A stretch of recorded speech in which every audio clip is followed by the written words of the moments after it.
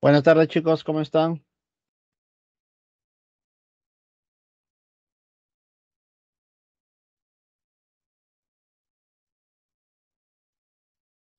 ¿Cómo está, profesor? Buenas tardes, profesor.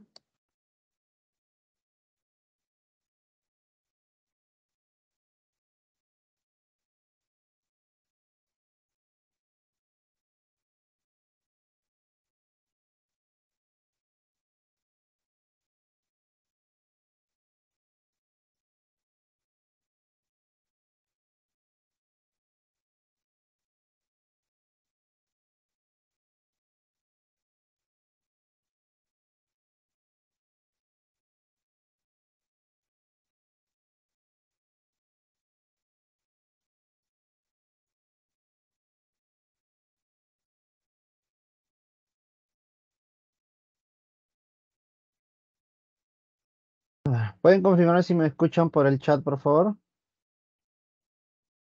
Buenas tardes.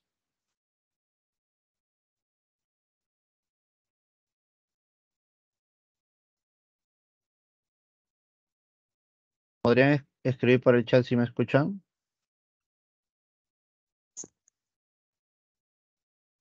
Coméntenme, por favor, para poder dar inicio. ¿Sí se escuchan?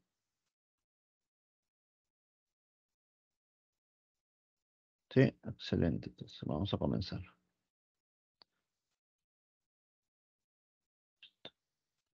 A ver, me presento. Mi nombre es Joan Sarcomani y estoy a cargo del curso de física en esta oportunidad, en esta clase. ¿Listo? Por algunos inconvenientes, su profesor no pudo asistir, así que esperemos que se incorpore la siguiente semana. Listo. A ver, ¿qué tenemos por el día de hoy? Semana número 5, ¿cierto? El tema del día de hoy es estática. Y la gran pregunta, chicos, ¿qué cosa estudia la estática?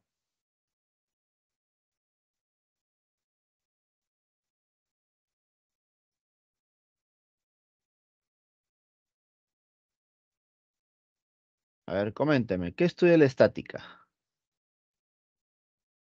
¿Qué es la estática? Bueno, por aquí. Estática.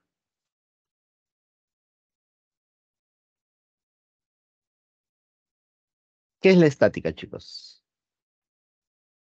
¿Qué entiendes tú por estática? Bueno, cuerpo estático, cuerpo que no se mueve, ¿no? Entonces podemos decir que la estática es parte de la mecánica, ¿no?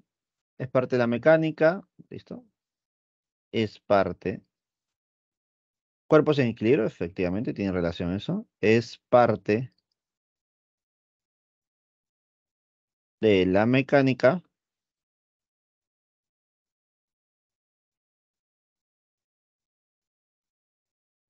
que estudia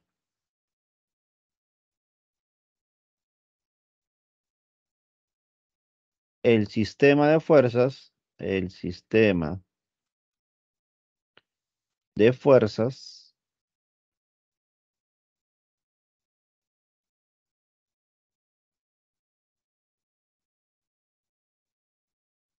que actúan sobre un cuerpo.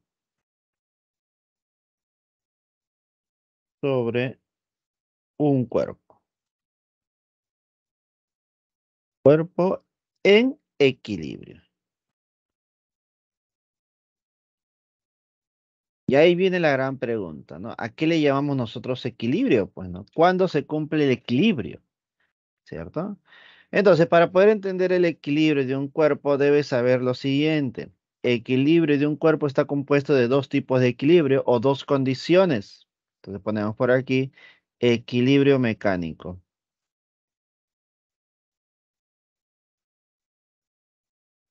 El equilibrio mecánico. Para que se cumpla un equilibrio mecánico debe cumplirse con dos condiciones de equilibrio. ¿Cuáles son esas dos condiciones? Ponemos por aquí. Primera condición de equilibrio. Primera condición de equilibrio. También conocido como equilibrio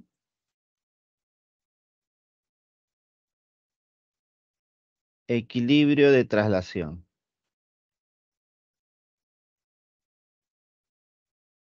Listo. Primera condición de equilibrio, también conocido como equilibrio y traslación. ¿Cuándo se cumple esta primera condición de equilibrio? A ver, ¿alguien tiene alguna idea?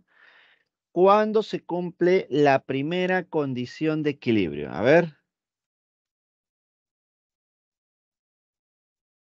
Coméntame. ¿Cuándo se cumple la primera condición? Recuerda, no te puedo escuchar, pero sí puedes usar el chat para poder leer tus comentarios, tus aportes, tus puntos de vista.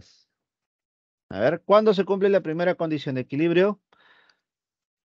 La primera condición de equilibrio se cumple cuando la fuerza resultante sobre el cuerpo es igual a cero. Efectivamente, Andrea, cuando la suma de fuerzas es igual a cero. Efectivamente. Y recordemos que la sumatoria de fuerzas es la fuerza resultante, pues, ¿no? Si la fuerza resultante es igual a cero, entonces se está cumpliendo la primera condición de equilibrio. ¿Y nosotros qué vamos a hacer cuando se cumple la primera condición de equilibrio? ¿Qué podemos hacer en los problemas? Bueno, fácil. Si la sumatoria de fuerzas es igual a cero, podemos asegurar que las fuerzas que van a la derecha son iguales a las fuerzas que van hacia la izquierda. Y las fuerzas que van hacia arriba son iguales a las fuerzas que van hacia abajo. Entonces, las fuerzas se van a compensar, pues, ¿no? En todos los ejes, ¿correcto? Pero algo más, ¿no? Si la fuerza resultante es igual a cero, eso me hace recordar a la primera ley de Newton, ¿no? Y cuando tú has visto la primera ley de Newton, sabes tú que existen dos casos. Hay dos situaciones, caso 1 y caso 2. Caso 1 y caso 2. A ver. Primer caso. Si la fuerza resultante es igual a cero, es posible que la velocidad del cuerpo sea cero. ¿Qué significa que la velocidad del cuerpo sea cero? Que el cuerpo está en reposo. Pero escúchame bien, no cualquier reposo. Escúchame bien, no cualquier reposo. Está en un reposo de traslación.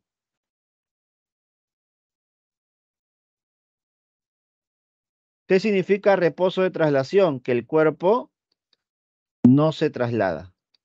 No existe traslación. El cuerpo no se va a trasladar. Pero dime, ¿el cuerpo podrá girar? ¿El cuerpo podrá girar? Sí, podrá girar. ¿Correcto? A eso le llamamos reposo de traslación. Simplemente no se traslada. ¿Y el segundo caso cuál es, profesor? El segundo caso es cuando el cuerpo se mueve con velocidad constante.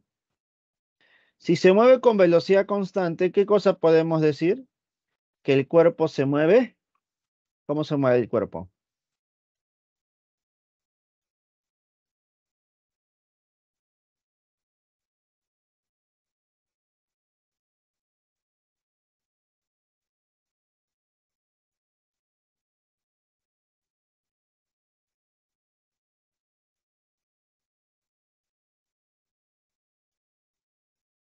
¿Listo, chicos? A ver, dígame.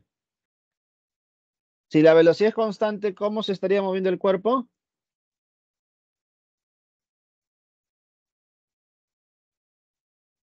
Se estaría moviendo con MRU, ¿cierto? Excelente. Entonces, eso es lo que nosotros podemos identificar con la primera condición de equilibrio. La fuerza resultante es igual a cero y las fuerzas se van a compensar, ¿no? Ahora, cómo nosotros atacar los problemas de estática o los problemas de equilibrio, porque no es lo mismo cuerpo estático que cuerpo en equilibrio, eh, aplicando la primera condición de equilibrio. A ver, nota por acá. A ver.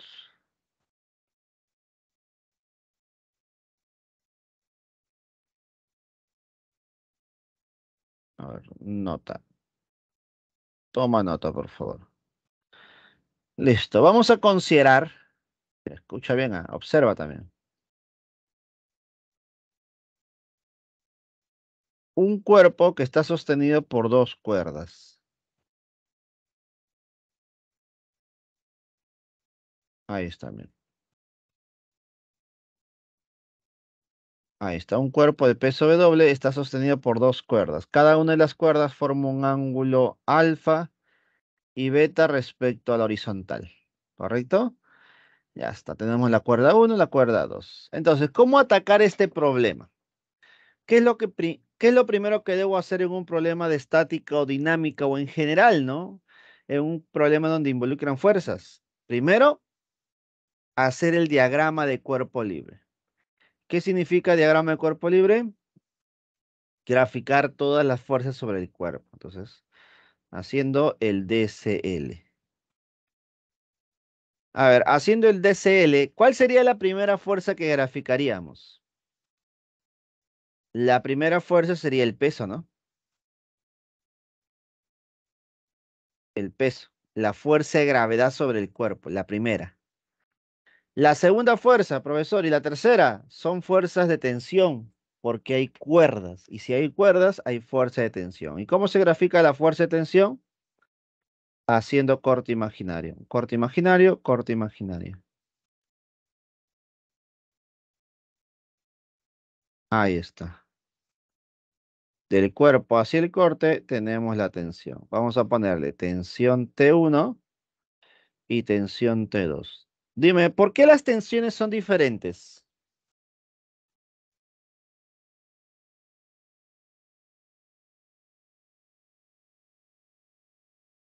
¿Por qué las tensiones son diferentes?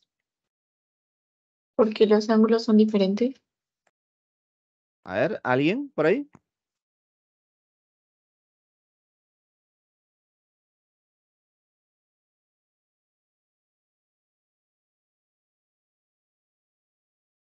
¿quién me puede decir por qué las tensiones son diferentes? Recordemos que la fuerza de tensión depende de la cuerda, y si son cuerdas diferentes, serán tensiones diferentes, ¿no? Ya está. Ahora, ¿qué debo hacer yo si tengo este tipo de problemas? ¿Qué puedo hacer ahora, profesor? Una manera de atacar este problema es analizando el eje horizontal y vertical, ¿no? En cada eje. Y para eso, ¿qué tengo que hacer? Descomponer, pues, ¿no? Puedes descomponer en el eje horizontal y en el eje vertical. A ver, vamos a descomponer. Vamos a aplicar descomposición. Vamos a descomponer la tensión T1 en el eje horizontal, ahí está, y en el eje vertical. Listo. Para eso necesitamos un ángulo, profe. Acá está alfa, entonces acá también sería alfa. Si ahí también es alfa, podemos decir que la componente más cercana al ángulo sería la tensión 1 por el coseno de alfa. ¿Listo? Ahí está. Y la otra componente sería T1 por el seno de alfa. Listo. Entonces ya dejo de trabajar con T1, trabajo con sus componentes. ¿Listo? Segundo, segunda descomposición para T2. Ahí está, mira. T2, T2. Traslado el ángulo beta. Acá está beta, acá también sería beta. Por lo tanto, me quedaría. Componente más cercana sería T2 T2 por el coseno de beta. Y la que está para arriba sería T2 por el seno de beta. Listo, dejo de trabajar con T2. Y te das cuenta que ahora todas las fuerzas son horizontales y verticales, ¿no? Entonces podemos decir, en el eje X, ¿qué se va a cumplir? fuerzas que van a la derecha son iguales a fuerzas que van hacia la izquierda. Y eso generaría una igualdad de dos términos, ¿no? ¿Quién sería la que va a la derecha? T2 por el coseno de beta. ¿Y quién sería la que va a la izquierda? T1 por el coseno de alfa. Listo, aquí encuentro ya una relación de variables. ¿Listo? Tal vez no resuelve el problema, pero puedo analizar ahora el otro eje para el otro eje, en el eje Y. En el eje Y, ¿qué voy a tener? Fuerzas que van hacia arriba igual a fuerzas que van hacia abajo. ¿Quién va hacia arriba? Hacia arriba hay dos fuerzas, mira. T1 por el seno de alfa más T2 por el seno de beta. Y hacia abajo, ¿quién va? El omega. Es decir, el peso del globo. Y con esto ya tenemos otra ecuación más. Listo. Entonces, dependiendo del problema o los datos, tú vas a encontrar la igualdad de términos. Pues, ¿no? Ya va a depender ahí del problema. ¿Correcto? Ya está. Listo. Pero no es la única forma de trabajar esto, chicos. ¿ah? No es la única forma, porque alguno pensará, ah, su profesor, todo eso tengo que aplicar. Todo eso, profesor. Aplicar coseno, seno. Yo estoy seguro que a muchos no les gusta esto. Estoy seguro de eso. Estoy seguro de eso. Así que mira lo que vamos a hacer. Otro método. Este es el primer método, ¿ya? Primer método. Vamos a poner acá. Primer método. Método. Uno. Vamos con el método 2.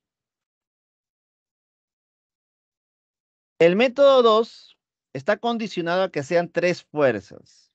El método se aplica para tres fuerzas, también conocido como triángulo de fuerzas.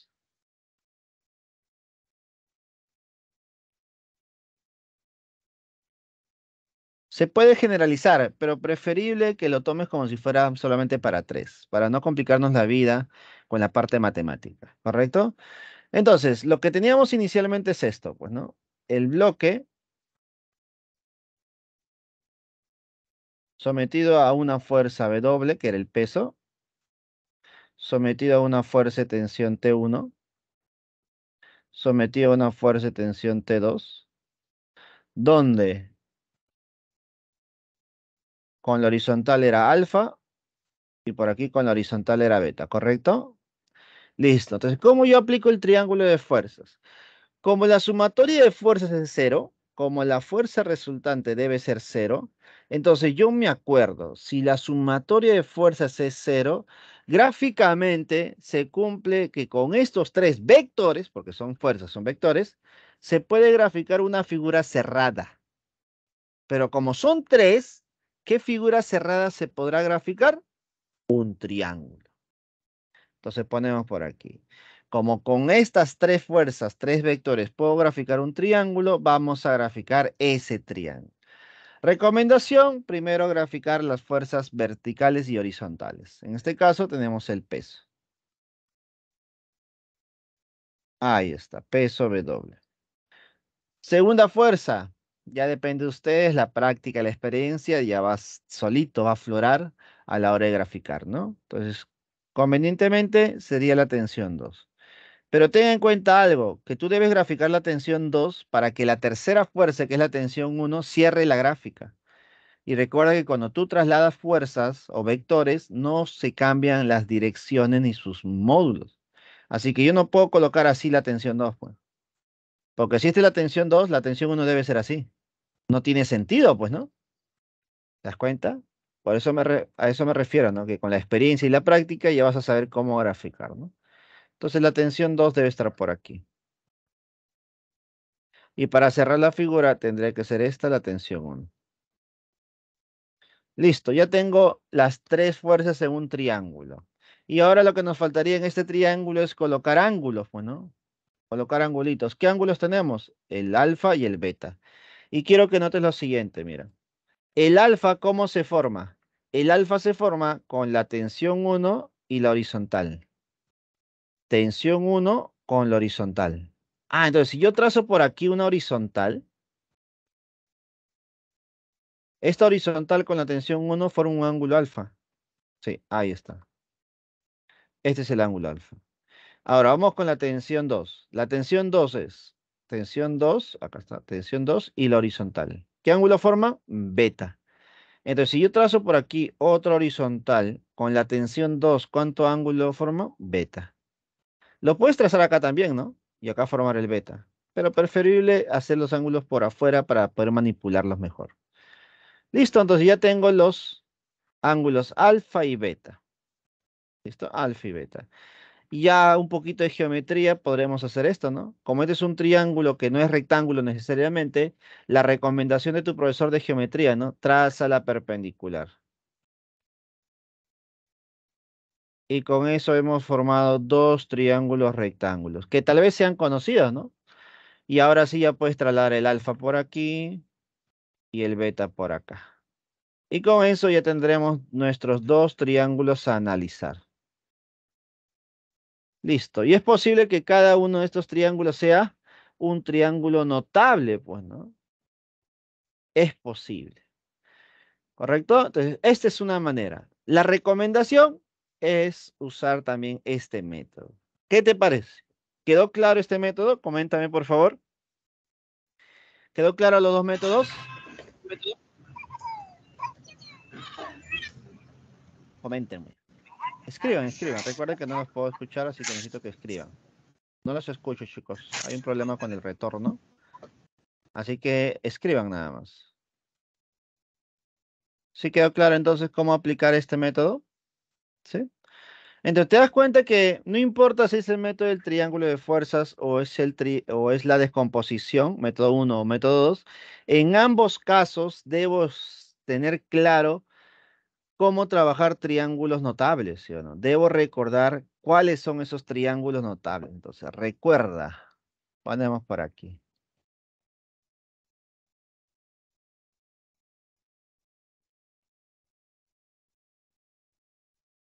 A ver, recuerda.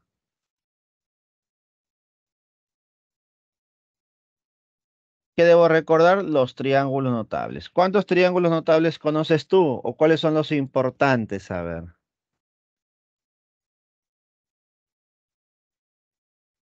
Los importantes son tres, pues, ¿no? Vamos a poner por aquí. Sin relleno, contorno.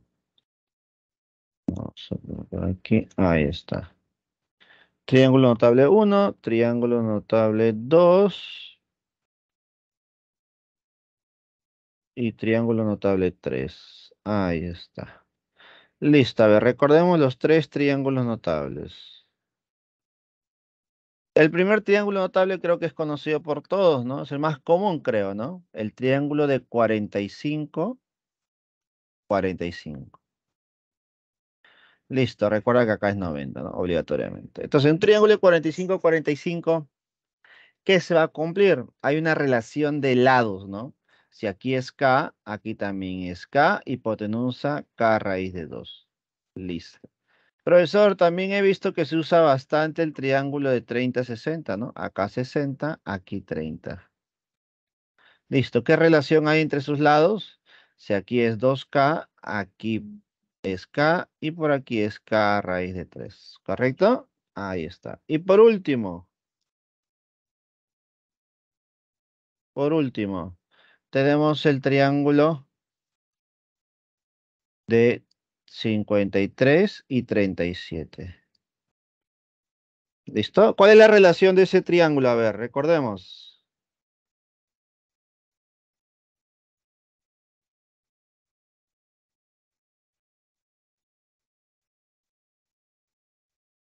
Como la canción, ¿no? ¿Quién no escuchó la canción? 3K, 4K, 5K. Ahí está, mira, como la canción, chicos. Imposible olvidarse, ¿no? 3K, 4K y 5K.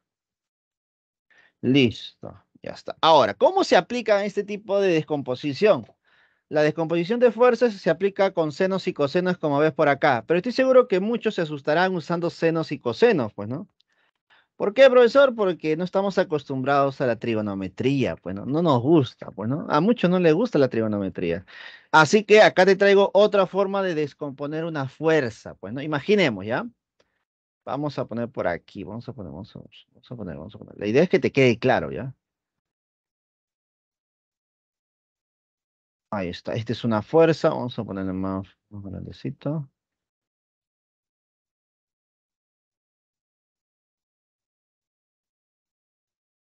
Ahí está. Imaginemos que esta es una fuerza. Esta fuerza tiene un valor, vamos a ponerle un valor, ¿ya? Un valor de 20. Una fuerza de 20 newton, ¿te parece? Puede ser velocidad, ¿no? También puede ser cualquier cantidad física vectorial. En este caso es fuerza, porque vamos a trabajar fuerza normalmente. Si es una fuerza de 20, ¿cómo hago la descomposición? A ver, profesor, según lo que observo, usted me está dando a entender que esta fuerza de 20 corresponde al valor de 5K. Entonces podemos decir que 5K es igual a 20. Si 5K es igual a 20, ¿cuánto vale K? K valdría 4. Si K vale 4, creo que ya conozco todo, pues, ¿no? Porque este 4K es 4 por 4. Y 4 por 4 es 16. Entonces, esta parte sería 16 newton. Profesor, ¿y la otra parte cuánto sería? La otra componente sería 3 por 4 y 3 por 4 es 12. 12 newton. ¿Qué te pareció esa descomposición? ¿Qué te pareció esa descomposición? ¿ah?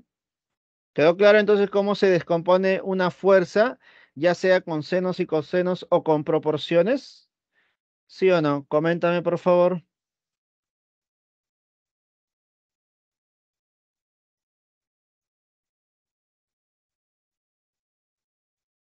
¿Quedó claro, sí o no? Coméntame para poder continuar. Sí, queda claro entonces. Ya está. A esto le vamos a agregar algo más importante también, que suele ocurrir en algunas oportunidades, pero es importante, creo yo, que tú lo sepas, pues, ¿no? Y se llama el criterio de las tres paralelas. ¿Listo? Vamos a poner por aquí. ¿Habrás escuchado alguna vez el criterio de las tres paralelas?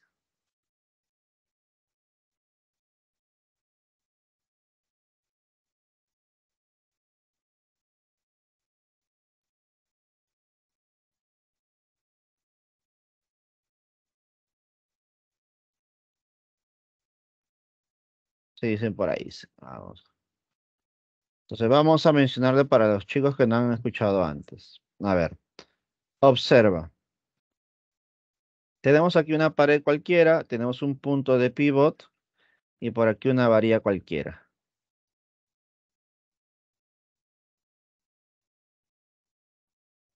Vamos a poner más abajo. ¿eh? Ahí está. Ahora, esta varilla también está sostenida por una cuerda que está por aquí a un techo. Listo. Entonces, hagamos nuestro diagrama de cuerpo libre. Como siempre lo haces en todos los problemas. Bueno, primera fuerza, fuerza de gravedad, profesor. Recordemos que al ser un cuerpo, una varilla, el peso se concentra en el centro de gravedad. Normalmente cuando es homogénea, cuando un cuerpo es homogéneo, el centro de gravedad está en el centro geométrico. Por ejemplo, si es una varilla de 5 metros o de 10 metros, de 10 metros, el centro está a 5 metros de los extremos, es en el centro de la varilla. Como yo no sé si este cuerpo es homogéneo, debo encontrar el centro de gravedad. Usualmente te lo van a dar, ¿no? Si este es el centro de gravedad, aquí estaría el peso. Observa, el peso sería hacia abajo, ¿correcto? Luego tenemos una tensión, ¿no? Una cuerda. Corte imaginaria del cuerpo hacia el corte tenemos una fuerza de tensión. Hasta ahí tengo dos fuerzas. ¿Qué otra fuerza nos faltaría? Nos faltaría la fuerza que existe en esta articulación. Y normalmente, escucha bien, ¿ah? normalmente en una articulación se coloca una fuerza R, una fuerza de reacción R, ¿correcto? De forma práctica, de forma práctica se separa en una componente horizontal y en una componente vertical. La componente horizontal sería R de X y la componente vertical R de Y. ¿Listo? Usualmente se hace eso. Porque yo no sé hasta dónde apunta R. Bueno, yo no sé si apunta así, si apunta así, con un ángulo de 30, 60, no lo sé. Así que mejor trabajo con sus componentes, que son obligatoriamente horizontal y vertical. ¿Correcto? Y aquí viene la pregunta, pues, ¿no? Si este cuerpo cumple con el equilibrio mecánico, lo ponemos por aquí.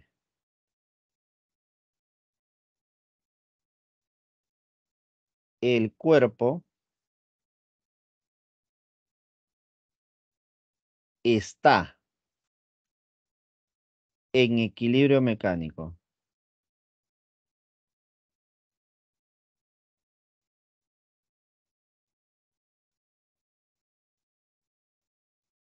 Listo. Si el cuerpo está en equilibrio mecánico, ¿qué se debe cumplir? Observarás que estas dos fuerzas son fuerzas paralelas.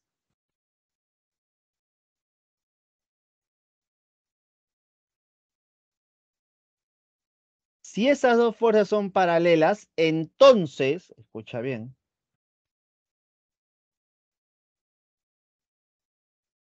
Entonces, la tercera fuerza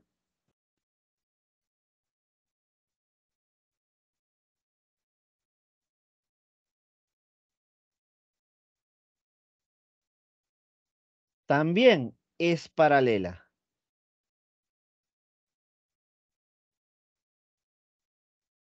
¿Entendiste? Si dos fuerzas ya son paralelas, la tercera, la última, porque si hay una cuarta es otro análisis. La última fuerza también debe ser paralela. Entonces, profesor, esta tercera fuerza, que es la reacción, ¿no debe tener dos componentes? No. Debe tener solamente una, que es la vertical. Entonces, podemos decir que la componente eje de X debe ser cero. No existe. Chau. solamente hay componente vertical. ¿Queda claro, chicos, lo que estoy mencionando?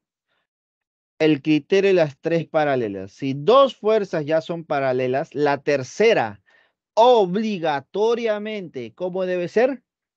Debe ser paralela. ¿Listo? ¿Por qué, profesor? Porque si hubiese una componente horizontal, una componente que no es paralela, entonces esta componente con nadie se compensa, pues, ¿no? Porque si hay una fuerza que va a la derecha, obligatoriamente debería haber una fuerza que va hacia la izquierda. Y no está, pues, en ningún lado está. Por ese motivo, todas deben ser paralelas para poder compensarse en ese eje. ¿Correcto, chicos? ¿Quedó claro esa parte del criterio de las tres paralelas?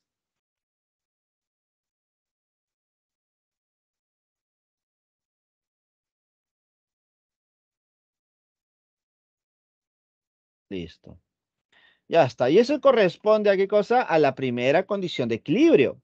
Hemos dicho que para que un cuerpo esté en equilibrio debe tener dos condiciones. Ya hemos hablado de la primera. Ahora nos falta hablar de la segunda. No hay primera sin segunda, ¿no? Segunda condición.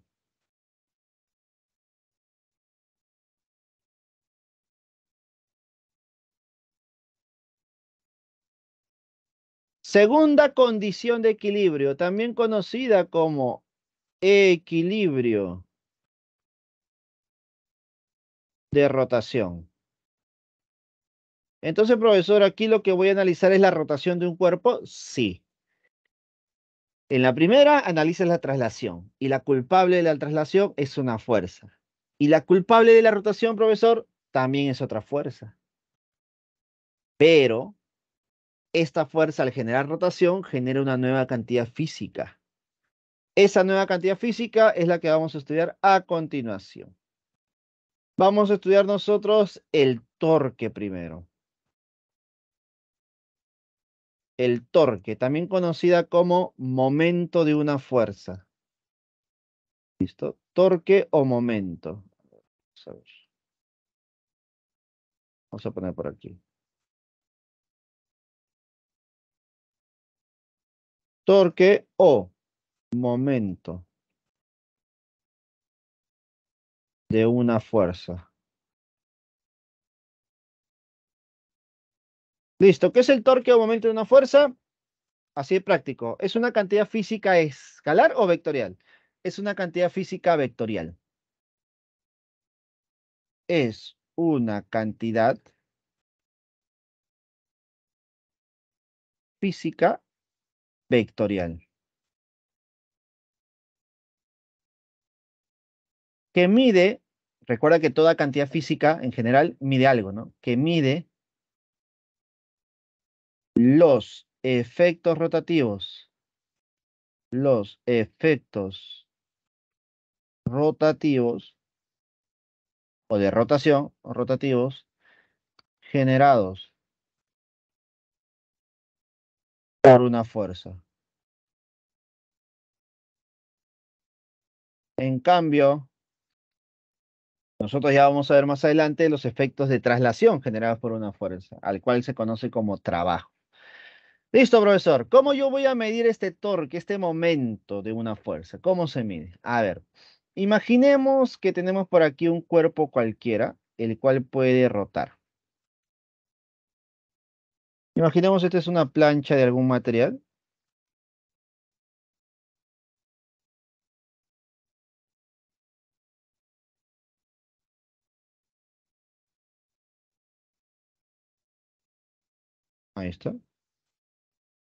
Esta plancha de algún material va a estar anclado a un punto. ¿Qué significa eso? Que por aquí va a tener un clavo, un tornillo y respecto a ese tornillo puede girar. Entonces podemos decir que este sería nuestro punto llamado eje de giro. O si no es un punto, tal vez es una recta, porque puede ser un conjunto de puntos o un conjunto de bisaras como en la puerta, ¿no? Todo un eje. Entonces, este sería nuestro eje de giro. Eje de giro. Listo, entonces respecto a este punto puede girar, respecto a esta línea puede girar, ¿correcto? Pero para que gire, profesor, debemos aplicar alguna fuerza, ¿sí o no? Entonces a este cuerpo sólido yo le puedo aplicar fuerza. Listo, vamos a aplicarle fuerza. Imaginemos, le aplicas una fuerza F, más o menos así. Ahí está. Le estás aplicando una fuerza F sobre ese cuerpo. Entonces, debido a esa fuerza, este cuerpo puede girar. Y como vamos a notar que gira, vamos a medir esa rotación. Y para medir la rotación, debemos calcular el torque. ¿Cómo se calcula el torque? Mira, observa ponemos por aquí, de forma escalar,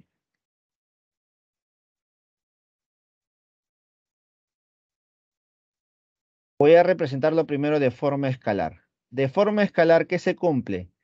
Que el torque es igual a, primero, signo más menos, el producto de la fuerza por una distancia, llamado brazo de palanca.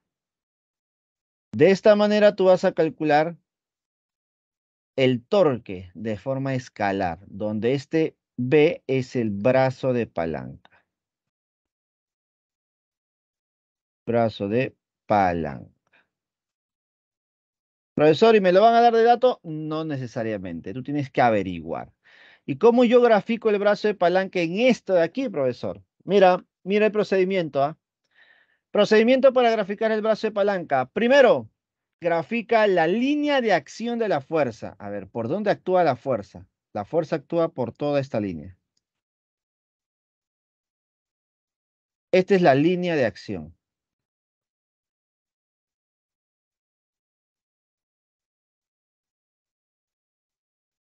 Línea de acción.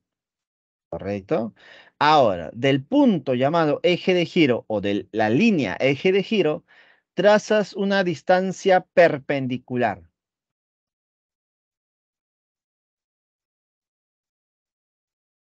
Ese segmento perpendicular de distancia B es nuestro brazo de palanca. Brazo de palanca. Listo, entonces de esa manera tú vas a calcular el brazo de palanca ya tendrías prácticamente el torque, ¿no? Generado por una fuerza. Pero algunos se habrán dado cuenta, ¿no? Profesor, me falta algo, falta el signo. Ahí aparece un signo más menos. ¿Cuándo coloco más? ¿Cuándo coloco menos? A ver. A ver, dime tú. ¿Cuándo el torque será positivo? El torque va a ser positivo cuando la rotación del cuerpo va en sentido antihorario. Si el cuerpo gira en sentido antihorario, entonces el torque es positivo. Pero si la rotación es en sentido horario, el torque es negativo. ¿Correcto? Entonces, ¿queda claro, chicos, cómo calcular el torque generado por una fuerza, sí o no? Signo, la fuerza y el brazo de palanca. ¿Queda claro, sí o no?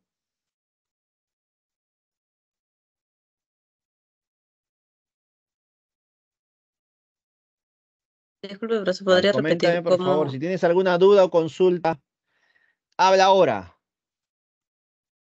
¿Podría repetir cómo, cómo eh, lo del brazo de palanca? Sí. Habla, habla. Cuéntamelo todo. ¿Todo claro? No todo claro.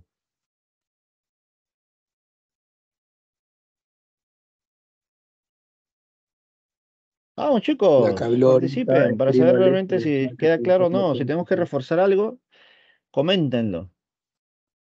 La idea es que quede claro, chicos.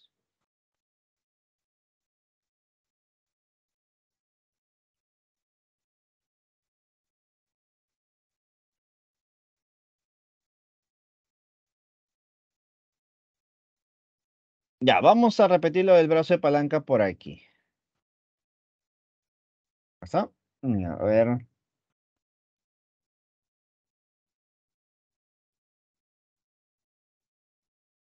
Vamos a ver el caso más, más clásico, ¿ya? Imaginemos esta varilla. ¿Listo? Y sobre la varilla se aplica esta fuerza. Imaginemos en este punto. En este punto se aplica una fuerza. Imaginemos así. Imaginemos ya, una fuerza F. Ya está. Entonces, como este va a ser tu eje de giro, entonces tú quieres graficar el brazo de palanca, ¿correcto? Entonces, ¿qué tienes que hacer? Prolongar la línea de acción de la fuerza F. Obviamente no lo vas a prolongar hasta el infinito, pues, ¿no? Hasta donde tú creas conveniente nada más. Por ejemplo, por ahí. Ahora, del punto llamado eje de giro, este es mi eje de giro, acá está mi eje de giro, Yo trazo un segmento, una distancia. Ahí está. Este segmento perpendicular es tu brazo de palanca. ¿Correcto? Ese es tu brazo de palanca.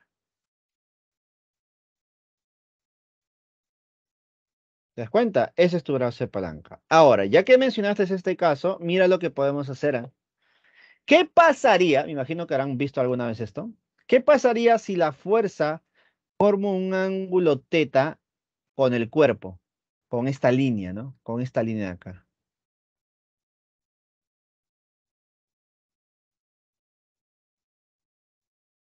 ¿Qué pasaría si la fuerza fuera un ángulo teta con este segmento, con esta línea? Vamos a ponerle segmento de distancia D. ¿Listo? ¿Te das cuenta que ese ángulo teta lo puedo trasladar por aquí en este triangulito? Y quiero que notes, a ver. En este triangulito, quiero que me digas tú, ¿ah? Tú, tú, tú, sí, sí, tú.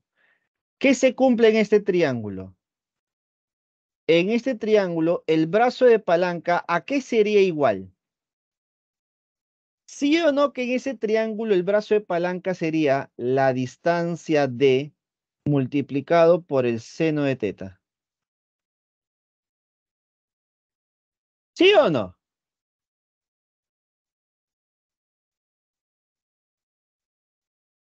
Entonces, si el brazo de palanca es igual a la distancia D por el seno de teta, podemos graficar o podemos calcular el torque de otra manera. Entonces el torque sería igual a más menos la fuerza por la distancia D. Te das cuenta que la distancia D es del punto de aplicación hasta el eje de giro, esa distancia recta, lineal, rectilínea y nada más, multiplicado por el seno de teta donde teta es el ángulo que forma la fuerza con el cuerpo o la fuerza con la distancia D. Es decir, que de forma directa tú puedes calcular el torque sin hacer ningún trazo. Sin hacer ningún trazo. ¿Correcto? Ejemplo para terminar.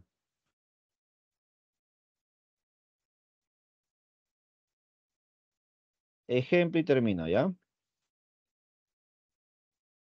Imaginemos una varilla cualquiera, algo rápido porque se nos va el tiempo. Aplicas una fuerza, una fuerza de, una fuerza F igual a 20 newton con un ángulo de 37 grados. ¿Listo? A una distancia vamos a ponerle de, de 2 metros. ¿Listo? Y quiero calcular el torque respecto al punto O. ¿Cuánto sería el torque? A ver, ¿cuánto sería el torque de esa fuerza? Vamos a mover un poquito más la gráfica por aquí. Ahí está. ¿Cuánto sería el torque? Primero recordar que para calcular el torque necesito el signo, la fuerza, la distancia y el ángulo, ¿correcto? Vamos con el signo. Dime, esta fuerza, cuando tú aplicas una fuerza F sobre el cuerpo hacia arriba, cuando aplicas una fuerza hacia arriba, Dime, ¿qué pasa con la varilla? ¿Qué pasa con el cuerpo? ¿Cómo girará? ¿En sentido antihorario o en sentido horario? Coméntame. ¿cómo giraría el cuerpo debido a esta fuerza? ¿Horario o antihorario? Porque eso es lo que tú tienes que hacer en los problemas, identificarlo, ¿no? Identificar. Entonces, gira en sentido antihorario. Mira, ahí está, qué bonito, mira. En sentido antihorario. Y si es en sentido antihorario, es positivo. Entonces, ya tengo el signo, mira. Check, el signo check. La fuerza, ahí lo tenemos, claro, profe, 20 newton.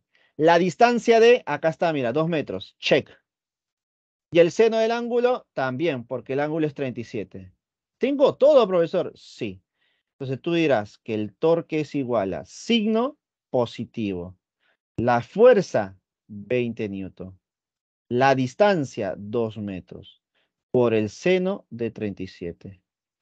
Y con ese problema ya terminó. Pues, Signo positivo, 20 por 2 por el seno de 37, que sería 3 quintos. ¿Y esto cuánto me sale? Más, a ver, sería quinta por aquí, quinta 1, quinta 4. Y sería 4 por 2, 8, 8 por 3, 24. Entonces, nuestro torque sería 24 unidades, newton metros. Estas son las unidades. ¿Qué te parece? Esa es la manera correcta, adecuada, sencilla, práctica de calcular el torque de una fuerza. ¿Qué te parece?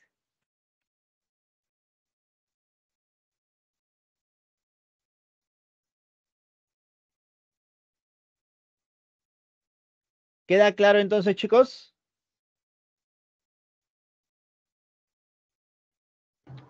Sí, profesor.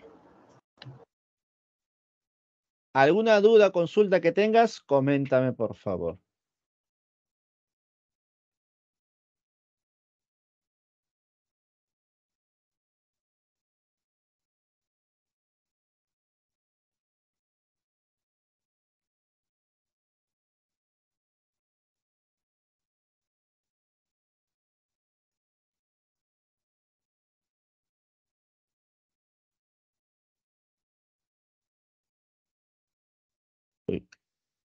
Y para ir terminando, chicos, ya que hemos mencionado este caso, ¿listo? Ah, no, ya terminamos ya. ya terminamos, son las 5 ya. Así que revisa tu material, por favor, para completar la parte de la teoría. Hoy hemos avanzado una hora nada más, mañana les toca dos horas más. Pero espero que te haya quedado claro todo lo que hemos avanzado el día de hoy, chicos. Hemos avanzado la parte de estática, la primera condición, y también la segunda condición de equilibrio. ¿Listo? Ya mañana se completará toda la teoría y obviamente los problemitas. ¿Correcto, chicos? Sin ninguna duda más, yo me despido el día de hoy. Prácticamente ya son las 5, va a ingresar su siguiente profesor. Listo. Gracias a ustedes, chicos. Gracias, Flavia. Nos vemos. Hasta luego. Cuídense. Hasta una siguiente oportunidad. Chau.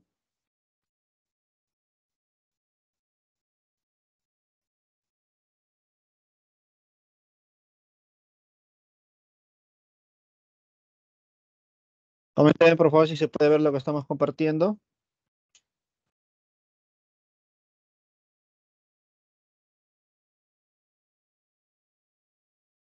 Y se ve excelente.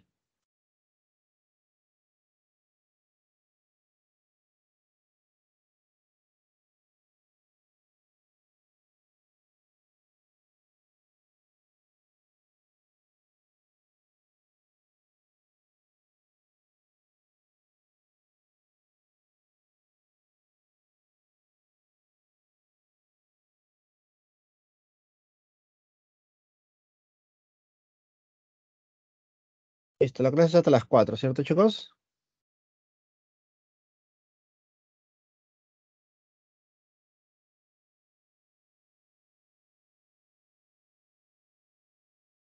Listo, a ver. Recordamos un poco lo que habíamos visto en la clase anterior, ¿no? La clase del día de ayer, ¿no? Vimos solamente una horita, pero aquí algo nos ayudará, pues, ¿no? Vamos a complementar un poco, ¿no? Nosotros hemos visto el día de ayer, la primera parte, Vimos estática, la primera condición de equilibrio, y cómo en esta primera condición de equilibrio la fuerza resultante debe ser cero, ¿correcto? Luego hemos visto algunos casos de cómo trabajar, ¿no? Eh, la primera condición de equilibrio, vimos la segunda condición de equilibrio, que es en base al torque o momento de una fuerza, ¿no? Hemos visto cómo calcular el torque o el momento de forma escalar, ¿listo? Y hemos visto que va a depender de tres valores, ¿no? Usualmente, ¿no? El signo, la fuerza y el brazo de palanca, ¿no? Ahora, había una forma distinta de calcular este torque, ¿no? Sin hacer muchos trazos, sin calcular el brazo de palanca de forma directa, sino de manera indirecta a través del ángulo y la distancia, ¿no? De aplicación. ¿Correcto? Vimos un ejemplo por aquí y vamos a complementar algo más, ¿no? Ya que estamos aquí, vamos a complementar algo más. Ahora, ¿qué pasaría? Observa por aquí para complementar. ¿Qué pasaría si sobre la varilla, si sobre la varilla, sabemos que este punto O es el eje de giro, este punto O es el eje de giro, entonces ahora nosotros aplicamos una fuerza de forma directa, escucha bien, de forma directa al eje de giro. Si tú aplicas una fuerza directa al eje de giro, entonces podemos decir que tu brazo de palanca, ¿cuánto es?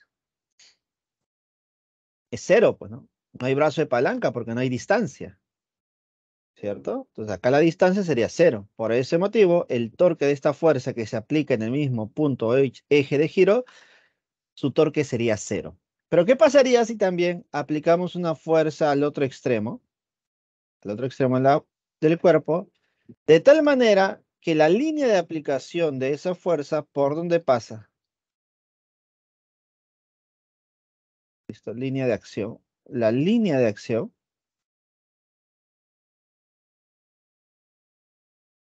¿Por dónde está pasando? Por el eje de giro. Entonces, si la fuerza o su línea de acción pasa por el eje de giro o la fuerza se aplica en el mismo eje de giro, entonces podemos decir nosotros que el torque de esa fuerza, ¿cuánto debe ser? Debe ser cero. Ahora, ¿por qué es importante conocer esto? ¿Por qué es importante, chicos? Porque en los problemas nosotros vamos a encontrar diferentes tipos de fuerza, ¿no? Fuerza 1, fuerza 2, fuerza 3, que pueden ser fuerza de gravedad, fuerza de tensión, fuerza de fricción, indiferentes, muchas. Y cada una de ellas debes calcular su torque, su momento. Y ahí comienza el problema. Pues. Porque al tener muchas fuerzas, tú vas a tener que analizar un eje de giro. Entonces, ¿dónde nosotros colocamos el eje de giro por recomendación? Por recomendación, colocarlo siempre donde aparece la mayor cantidad de fuerzas. Por donde pase la mayor cantidad de fuerzas que tú no quieras conocer o no conozcas, ahí debes colocar tu eje de giro. ¿Y por qué? Porque si colocas en ese punto donde pasan muchas fuerzas desconocidas y que no quieres conocer, entonces el torque de esas fuerzas será cero. Entonces ya no analizas esas fuerzas, analizas las que te quedan. Y así reduces tu análisis. Ya no analizo cinco, analizo dos o tres, nada. Y así vas reduciendo poco a poco. Entonces, de esa manera ya hemos visto cómo calcular el torque para diferentes tipos de fuerzas, aplicando la fórmula general con el brazo de palanca o las fórmulas específicas o particulares, ¿no? Con el ángulo seno o cuando la fuerza se aplica en el mismo eje de giro. Entonces, como ya estamos preparados para poder calcular cualquier tipo de torque, entonces ahora sí, yo ya puedo calcular el torque resultante.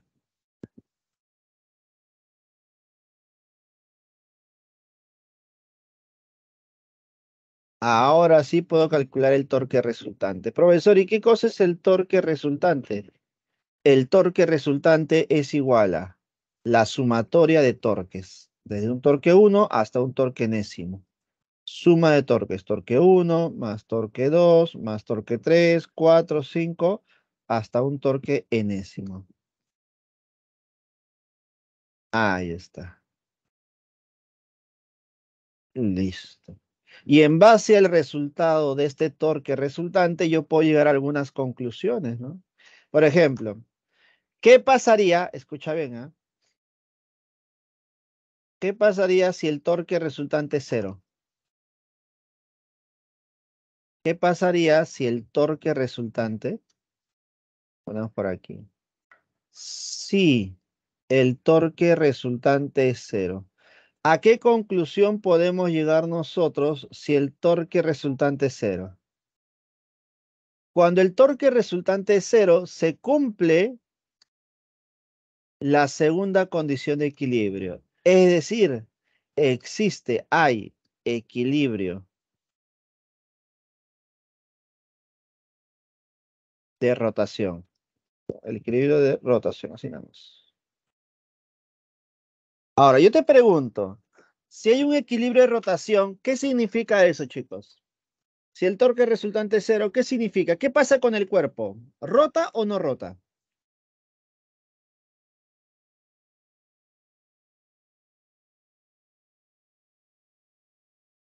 ¿Qué dicen ustedes? Si el torque resultante es cero, entonces, ¿el cuerpo rota o no rota? A ver, coméntame. Por ahí Flavio dice, no rota, dice. ¿Qué dicen los demás?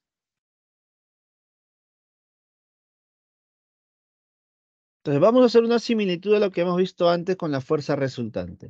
Si la fuerza resultante de un cuerpo es cero, ¿el cuerpo se traslada o no se traslada? Profe, hay dos casos, ¿no? ¿Te acuerdas? Por más que la fuerza resultante sea cero, hay dos posibilidades. Aquí ocurre lo mismo, chicos. Si el torque resultante es cero, hay dos casos. Caso 1. Caso 2. ¿Qué me dice el caso 1? Que la velocidad angular puede ser cero. Si la velocidad angular es cero, entonces a esto le llamamos reposo pero reposo de rotación. Reposo de rotación. Segundo caso, si la velocidad angular es constante. A esto le conocemos como MCU. Movimiento circular uniforme. ¿Te das cuenta? Entonces, eso es lo que se va a cumplir, chicos. eso es lo que se va a cumplir. Cuando el torque resultante es cero, hay dos posibilidades. Que el cuerpo esté en reposo de rotación o que el cuerpo rote con velocidad angular constante. Obviamente, como estamos en el tema de estática, lo más probable que ocurra es la primera. El primer caso es lo más probable que ocurra, un reposo de rotación. Al igual que un reposo de traslación. ¿Correcto, chicos? Ya está estamos listos y preparados para poder resolver los problemas de esta semana. ¿Alguna duda, consulta que tengas respecto a la teoría? Coméntame, por favor. A ver, coméntame. Leo tus, tus consultas.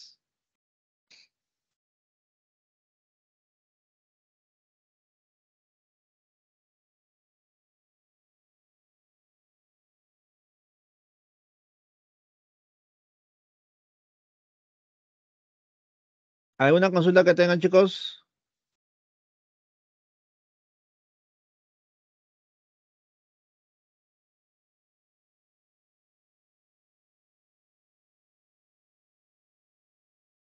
¿Ninguna consulta?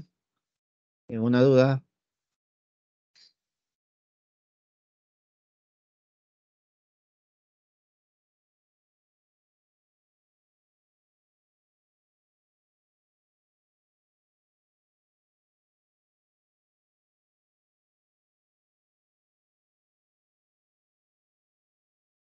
Listo, entonces comencemos con los problemas. ¿Te parece?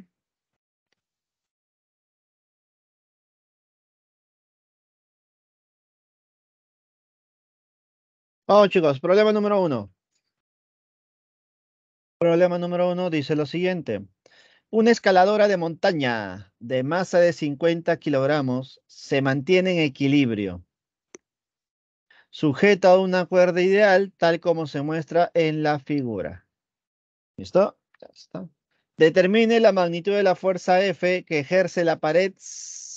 Ah, determine la fuerza F que ejerce la pared de la montaña. Considere que la gravedad vale 10. A ver, se supone que esta persona está quieta, está en reposo, ¿no? Al estar quieta en reposo, cumple con las dos condiciones. Primera condición de equilibrio, segunda condición de equilibrio. La primera, fuerza resultante es igual a cero. La segunda, torque resultante es igual a cero. La gran pregunta para muchos es, profe, ¿y cuál aplico yo? ¿Cuál debo considerar? ¿Cuál voy a aplicar? Las dos se cumplen, pero ¿cuál aplico? Pues?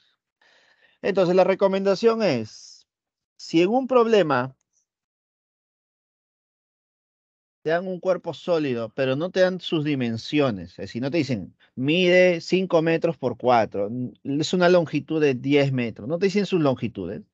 Entonces, lo más probable es que se resuelva con la primera condición. Lo más probable. ¿Listo? Ahora, si en el problema te dicen, es una escalera, una varilla, obviamente, creo que queda claro, ¿no? Lo más probable es que apliques la segunda, ¿correcto? Entonces, en base a eso, lo más probable es que aplicaríamos la primera. Y para eso necesito saber cuáles son las fuerzas involucradas. Primera ley, dijo la primera fuerza, la fuerza de gravedad. Entonces, sobre el cuerpo aparece una fuerza de gravedad. Listo. Si la masa es 50 y la gravedad es 10, entonces su peso o la fuerza de gravedad es 500. Luego tenemos una cuerda, ¿no? Y si hay una cuerda, corte imaginario. Ahí está. Corte imaginario, del cuerpo hacia el corte. Esta es la tensión. Y por último está la fuerza F, ¿no? En realidad acá la fuerza está mal, se, podría decir que puede estar mal graficada. La fuerza que ejerce la montaña está por acá, ¿no? Listo, esa es la fuerza que ejerce la montaña. Y es sobre el pie, pues, ¿no? Sobre el pie. Entonces, evitemos trabajar con esto. Listo. Entonces, sobre el cuerpo, ¿cuántas fuerzas hay? Profesor, hay tres fuerzas. Y como el cuerpo está en reposo, es decir, la fuerza resultante es cero, dime, ¿qué cosa podemos aplicar? A ver, ayúdame. Si la fuerza resultante es cero, dime, ¿qué cosa podemos aplicar? Dime.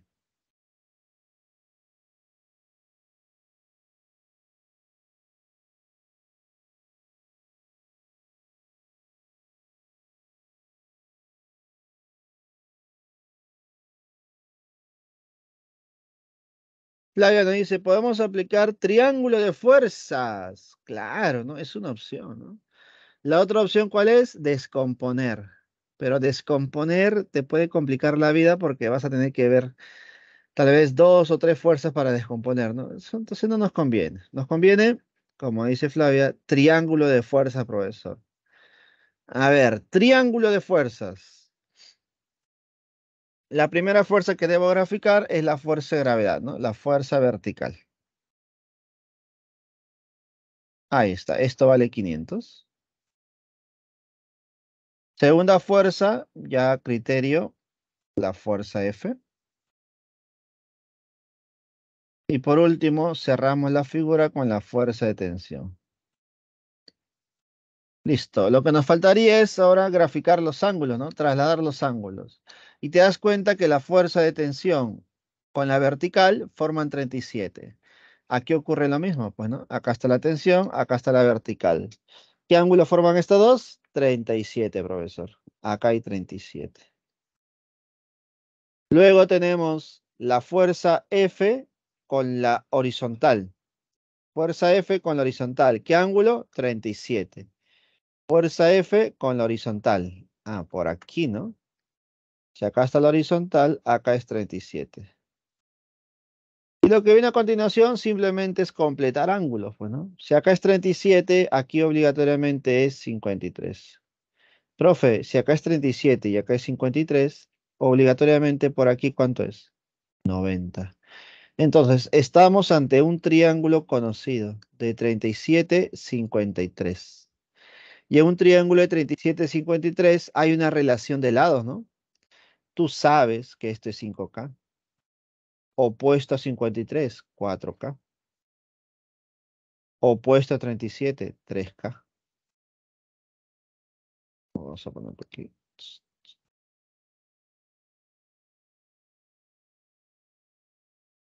k Observamos que 5K y 500, ¿cómo deben ser? Iguales. Entonces diremos 5K es igual a 500. ¿Cuánto vale K? K vale 100. Si K vale 100, tú ya sabes cuánto vale la tensión, ¿no? La tensión valdría 4 veces K, es decir, 400 newton. Y la fuerza F que te piden, ¿cuánto sería? La fuerza F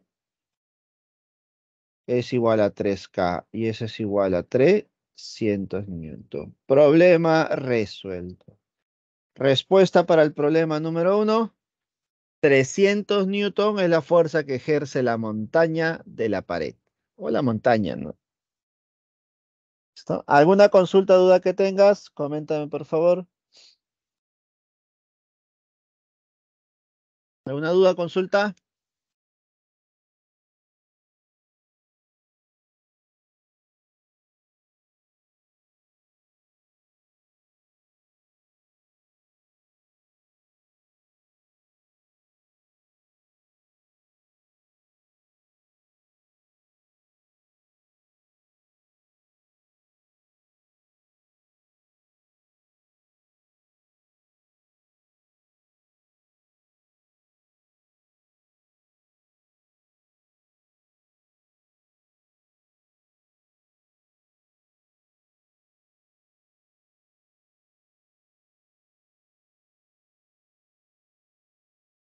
Vamos, siguiente pregunta entonces.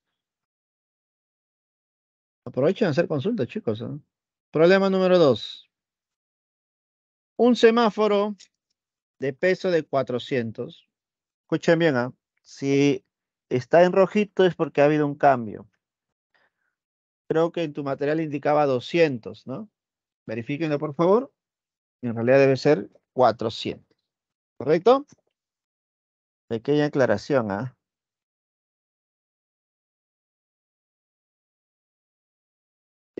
Está suspendido en equilibrio de dos cables ideales. O de cables ideales, como se muestra en la figura. Determine la tensión del cable AB y BC, ya lo que están inclinados. Considere que raíz de 2 es igual a 1,4 y raíz de 3 es igual a 1,7. Listo. Acá hay unas, algunas aproximaciones que debo considerar y eso puede como que modificar un poco mi, mi posible respuesta, ¿no?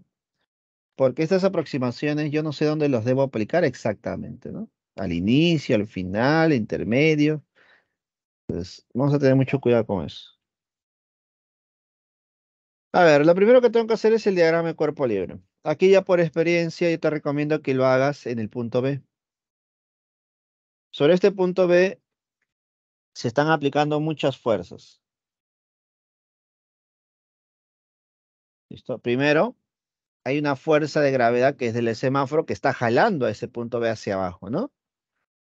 Entonces podemos decir que en ese punto B está el peso.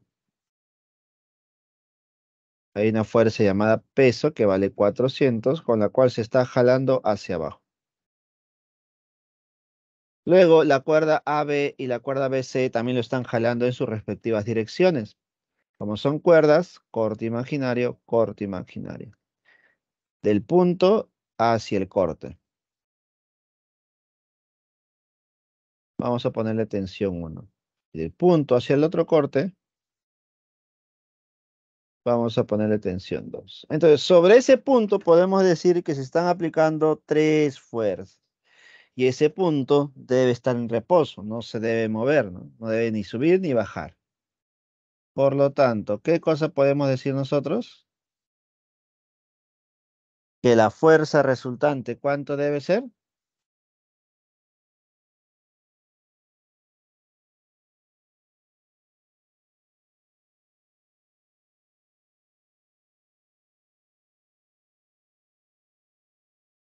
La fuerza resultante debe ser cero. Y si la fuerza resultante es cero, chicos, ¿sí o no que nuevamente puedo aplicar el triángulo de fuerzas?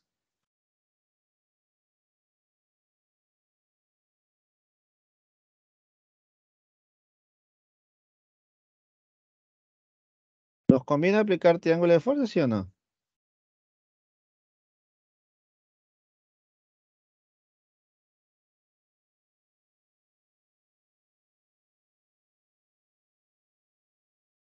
Ya está, entonces vamos a ver. Triángulo de fuerzas. Primera fuerza, el peso.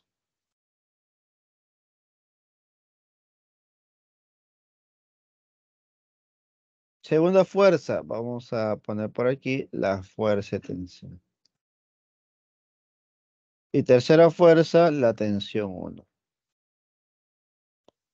Ahora, no siempre los triángulos que se forman son rectángulos, ¿ah? Y eso va a depender de los ángulos. A ver, profe. Observa por aquí.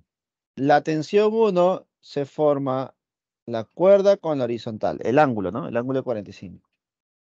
Cuerda y horizontal. A ver, cuerda y horizontal. Acá está T1. Horizontal está aquí. Aquí, ¿cuánto debe ser? 45. Vamos a borrar esa T1. Vamos a trasladar más acá. T1 por acá, ahí está. Entonces, aquí se forma 45. Ahora, para T2, cuerda y horizontal. Cuerda y horizontal, 60 grados. Entonces, por acá, mira, cuerda y horizontal. Aquí debe ser, o sea, pues, si pongo acá una horizontal, acá es 60 grados. Si ahí es 60 grados, obligatoriamente aquí cuánto es? 30. Arriba también 45, aquí 45. ¿Te das cuenta el triángulo que se ha formado? No es un triángulo rectángulo conocido, ¿no? Ni siquiera rectángulo para comenzar, ¿no? Son dos ángulos diferentes, 45 y 30. Pero ¿qué te dice tu profesor de geometría? ¿Qué se hace cuando tengo un triángulo de este tipo? si no es un triángulo conocido, se traza una perpendicular.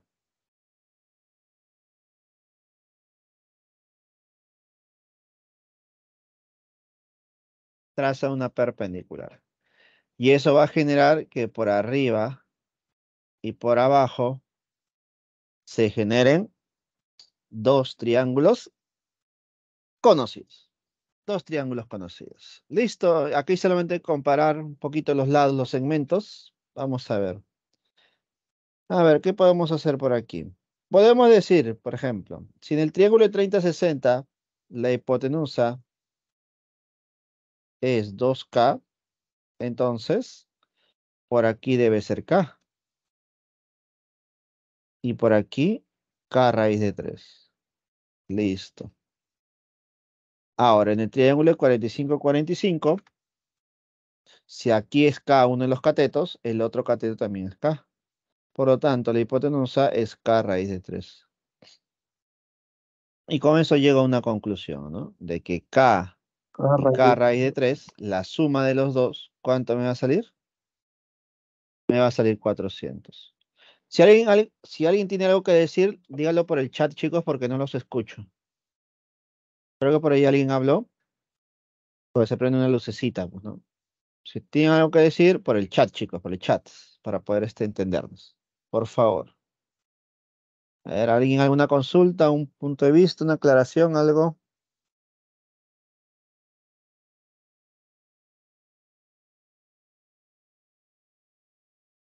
¿Alguien, alguien, alguien?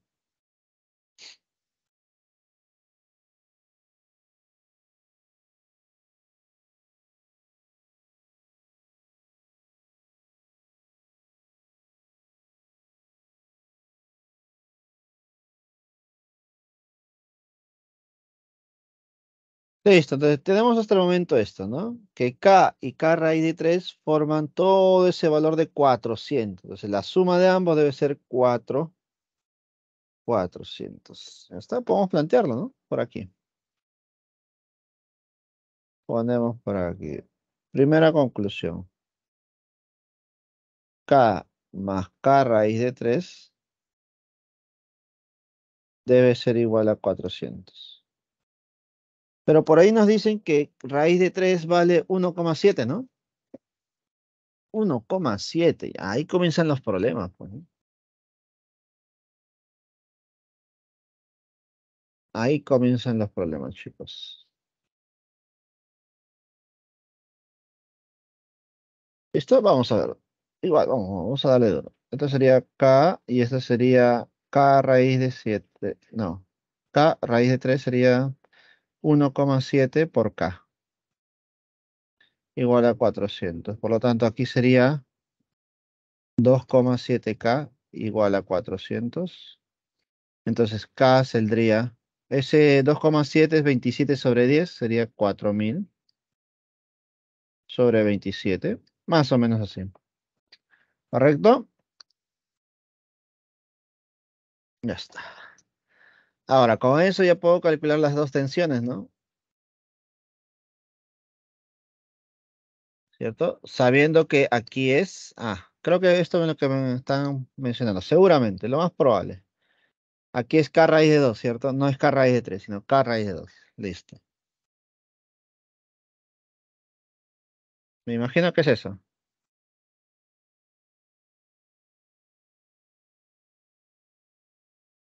Listo, por lo tanto, tenemos por aquí. Primera conclusión. La tensión 1.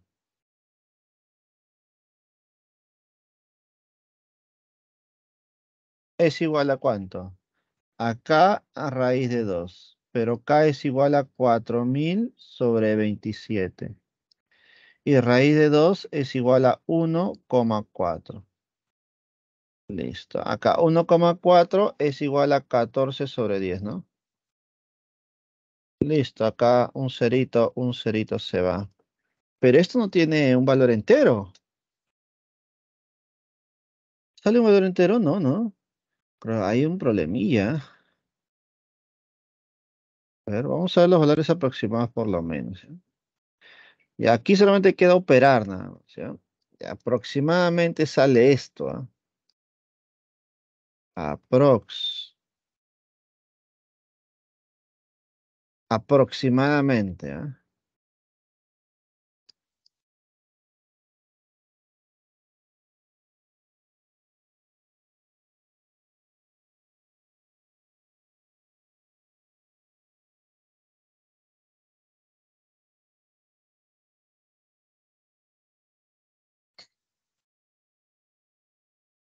Listo. ¿Y la tensión 2?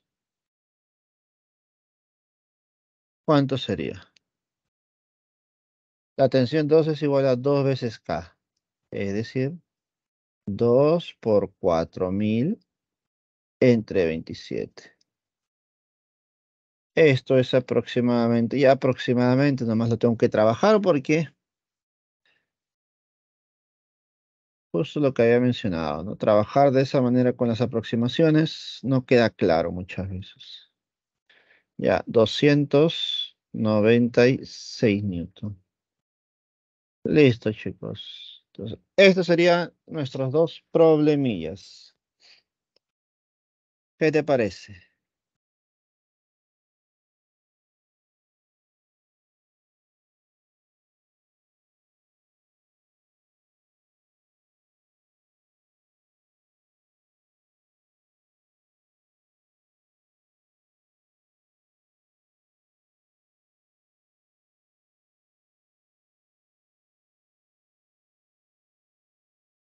¿Alguna consulta, chicos? Coméntenme, por favor.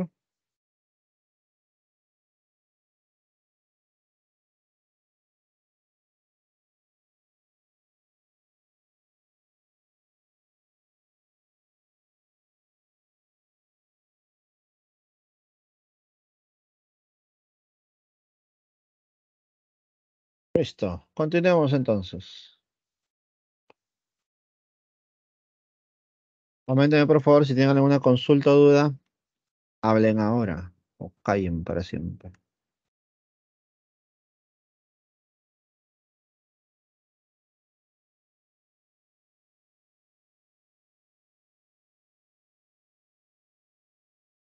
¿Todo claro entonces? Coméntenme por favor.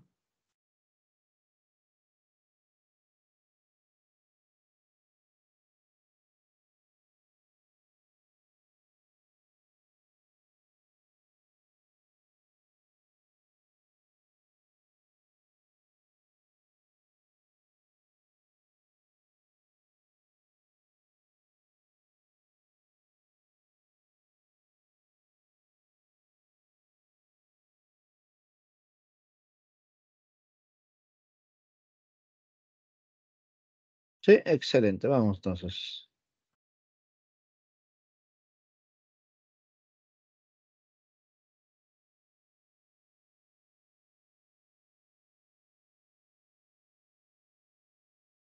Vamos, siguiente pregunta. Ahí está, la de bloquecito, dos bloquecitos. Dos bloques A y B de igual peso se encuentran en reposo, unidos por una cuerda ideal que pasa por una polea sin fricción. El bloque A se encuentra sobre un plano inclinado con ángulo de alfa igual a 37 grados respecto al horizontal, como se muestra en la figura. Si los bloques están a punto de moverse, determine el coeficiente de fricción estático entre los bloques A y el plano inclinado. Listo. Entonces me piden el coeficiente. me están diciendo que esa superficie es rugosa, lo más probable, pues, ¿no? Listo, hacer el diagrama de cuerpo libre nada más, ¿no? Primera fuerza, la fuerza de gravedad. Yo no sé cuánto es, le voy a poner W. Pero me dicen que tienen igual peso ambas. Entonces, sobre A también es la misma fuerza. Listo, vamos a poner así ya. Misma fuerza, W. Listo. Luego, sobre B hay una cuerda, corte imaginario, del bloque hacia el corte tenemos la fuerza de tensión T. Listo. Y se supone que esa cuerda está unida al bloque A, por lo tanto, sobre el bloque A también hay una fuerza de tensión. Por tratarse de la misma cuerda, la misma fuerza de tensión. ¿Listo? A ver, ¿qué más, profesor? Sobre B ya no hay nada. No hay nada. Sobre A hay contacto con la superficie. Debido al contacto nada más, se genera la reacción normal.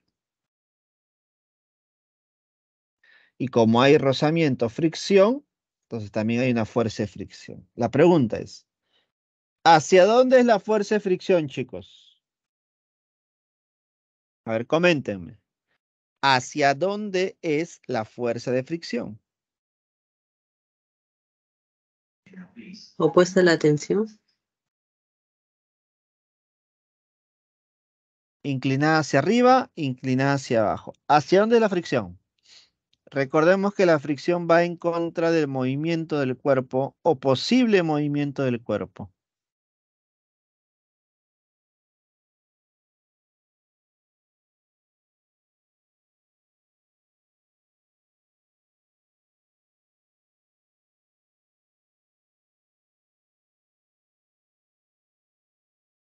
Inclinada hacia arriba, dice por ahí. Bueno, hacia arriba dice.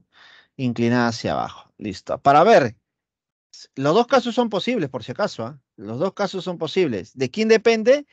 De los pesos de los bloques. Si te das cuenta, este bloque W está jalándolo hacia abajo, ¿no? Está jalando hacia abajo. Pero este bloque también está jalando hacia abajo por acá. Pero no sé con cuánta fuerza. Entonces, para eso debes descomponer. Como este ángulo es de 37, entonces, en base a ese ángulo, tú vas a descomponer la fuerza de gravedad una componente perpendicular y una componente paralela. ¿Listo? Haciendo uso de los ángulos sería, acá, disculpa, acá sería 37. Entonces sería W por el coseno de 37. Y la otra sería W por el seno de 37. Ya sabemos que al multiplicarle seno o coseno, el valor se reduce, pues, ¿no? Entonces, compara estos dos valores que estarían jalando.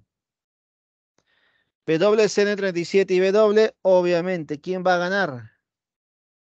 W. Y como W gana, entonces W está jalándolo. Entonces, este cuerpo B debería bajar y el cuerpo A debería subir. Como trata de subir, ¿quién se opone? La fuerza de fricción. Y con eso llego a la conclusión que la fuerza de fricción, que es igual a mu por la normal, debe ser una fuerza inclinada hacia abajo. ¿Correcto? Ya está. Entonces, con eso ya tenemos todas las fuerzas. Y empezamos a analizar. A ver. Para el bloque B, la única conclusión que tendríamos es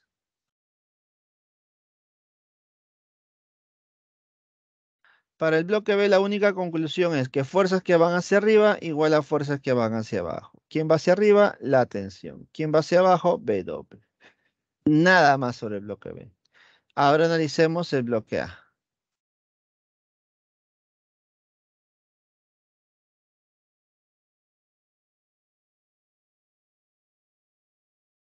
Sobre el bloque A tenemos dos ejes, ¿no? El eje paralelo y el eje perpendicular.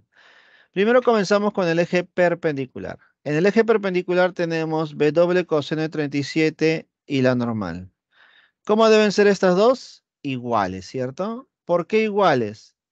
Porque no hay fuerza, las dos fuerzas son iguales porque el bloque no sube ni baja, ¿no? No se va hacia arriba ni se va hacia abajo.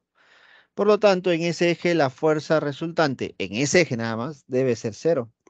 Se compensa. esa es mi primera conclusión de que la normal es igual a B doble por el coseno de 37.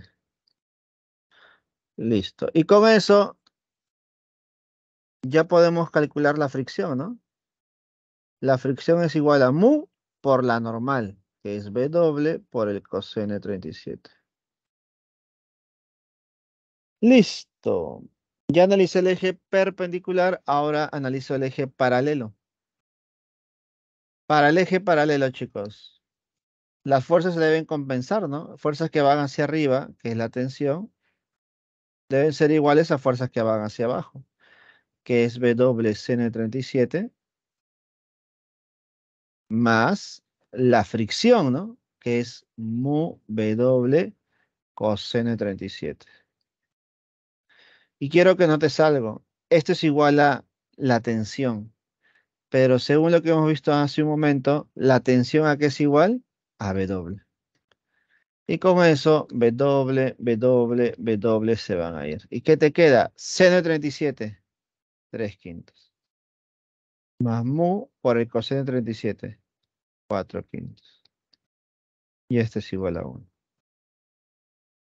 Entonces, 4 quintos de W es igual a 1 menos 3 quintos, sería 2 quintos. Y con eso 5 y 5 se van. ¿Y qué me queda? Uy, no es W, ¿no? Es omega, disculpa. Disculpa, este mu, mu, mu, coeficiente. Entonces, esto me quiere que mu es igual a 2 sobre 4. Eso es igual a 1 medio. Y este es igual a 0,5. Problema número 3. Resuelto. ¿Alguna consulta, chicos? Coméntenme, por favor.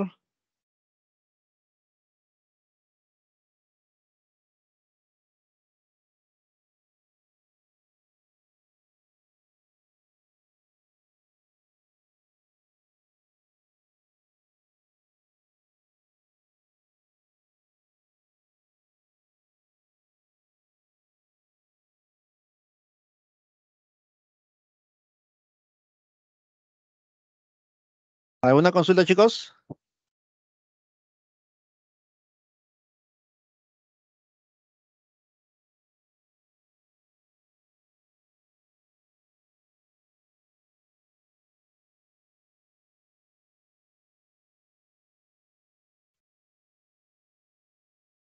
Recuerda que tienen que usar el chat porque el audio no funciona para mí.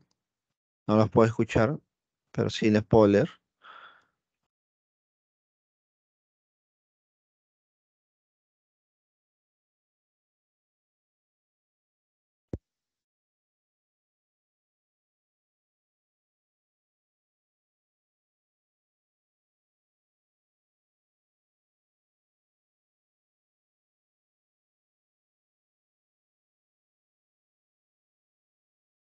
Listo, vamos con el siguiente entonces.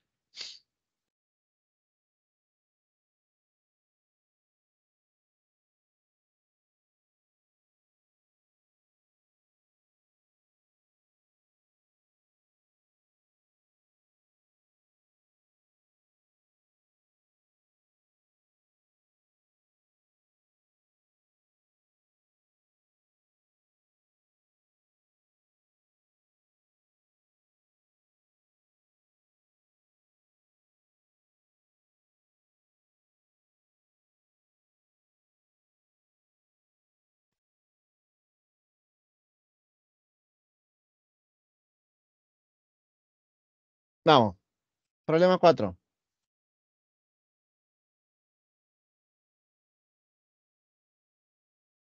Un bloque de peso de 800 newton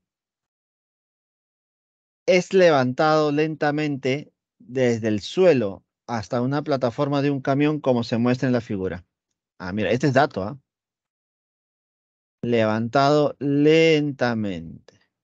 ¿Qué significa que sea lentamente? Que la velocidad es constante.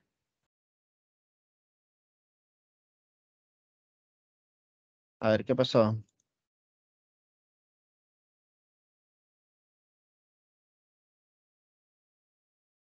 ¿No se está grabando? Mm, ni idea. Yo no veo eso, jóvenes. Yo no veo eso, chicos. Mm, mm. ¿Continuamos? Sí, ¿no? Continuamos nomás. Ya. Entonces, si te dicen que el cuerpo se mueve lentamente, te están diciendo que la velocidad es constante. Si la velocidad es constante,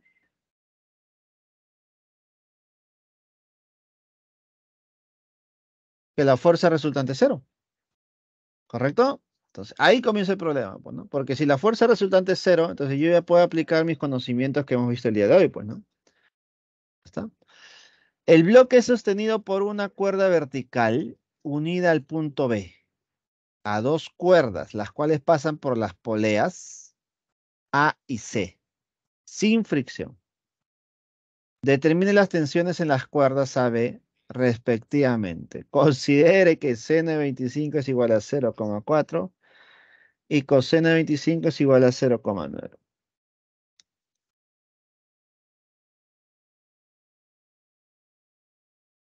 A ver, vamos a ver. Primero, diagrama de cuerpo libre. Ese cuerpo tiene un peso de 800, entonces estará jalando al, al punto B con 800 newton. Muy parecido al problema anterior.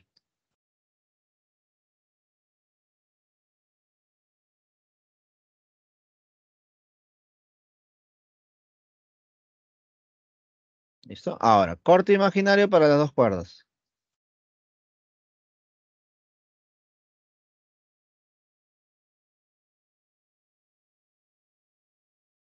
Ahí está.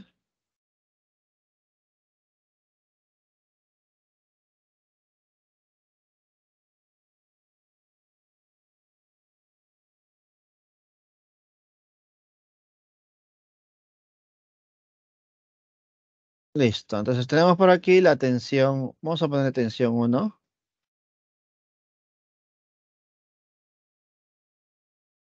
Y acá tensión 2, ¿correcto? Ya está. A ver, creo que podemos aplicar lo mismo que hicimos con el semáforo, ¿no? Podemos aplicar triángulo de fuerza, ¿cierto? ¿Sí o no? Coménteme, por favor.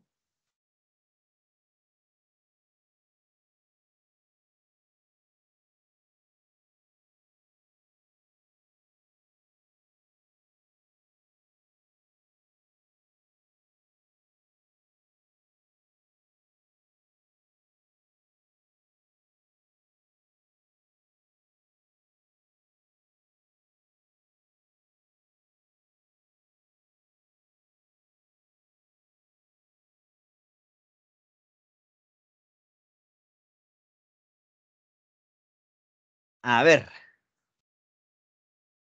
Si yo aplico triángulo de fuerzas, podríamos generar un posible error por las aproximaciones, chicos. Así que voy a aprovechar con este problema a usarlo, usar lo que nos menciona el problema, ¿no? Que es seno y coseno. Y eso solamente se hace con la descomposición. Entonces, voy a descomponer. Horizontal, vertical. Horizontal, vertical. A ver, para la tensión 2 sería T2 coseno 25. Y por acá sería T2 seno 25. ¿Listo? Chao, T2. Ahora me quedo con T1. T1 coseno de 53. Y este sería T1 de 53.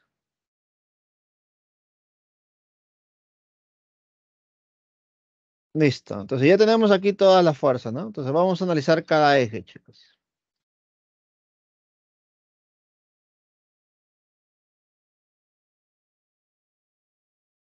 Podemos decir, en el eje X, fuerza que va a la derecha, T1, bueno, T2, ¿no? Fuerza que va a la derecha es T2. T2 por coseno de 25, ya, acá aprovecho ya. Mira, mira, mira, mira, mira, mira. Esto y esto voy a igualar. Como este 2 por coseno de 25 y coseno de 25 es 0,9, es 9 sobre 10. Y es igual a T1 por el coseno de 53. Coseno de 53 es 3 quintos. Listo. Aquí podemos simplificar, ¿no? Tercia, tercia. Quinta, quinta. Entonces, ¿qué nos quedaría?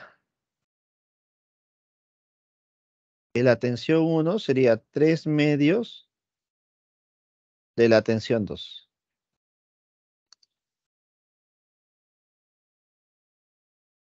Listo, entonces T1 es igual a 3 medios de T2. Eso es solamente en el eje X, ¿eh? Ahora falta en el eje Y.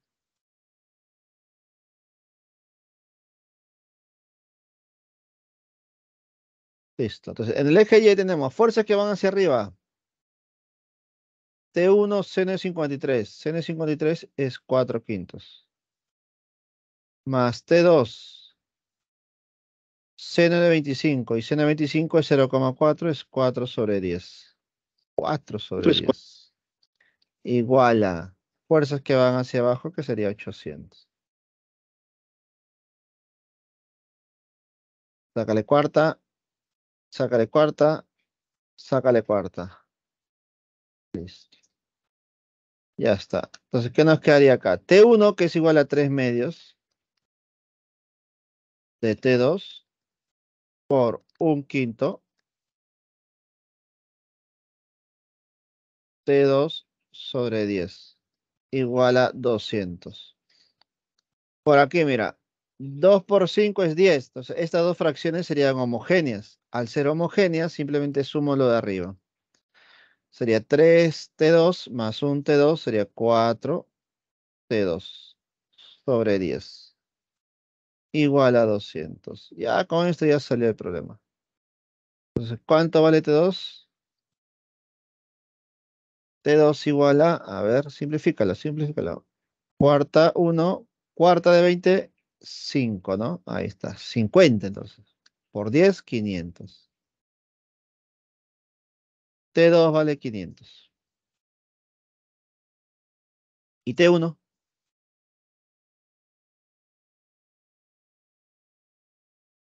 ¿Y T1? A ver, T1 se supone que es 3 medios de T2.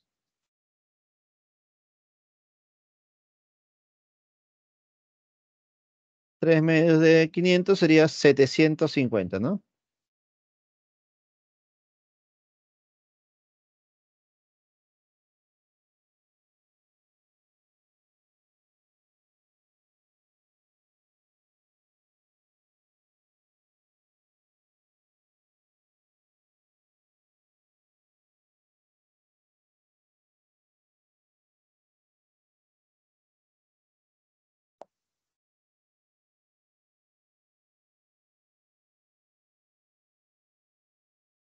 Listo, chicos. ¿Alguna consulta, duda que tengan? Coméntame, por favor.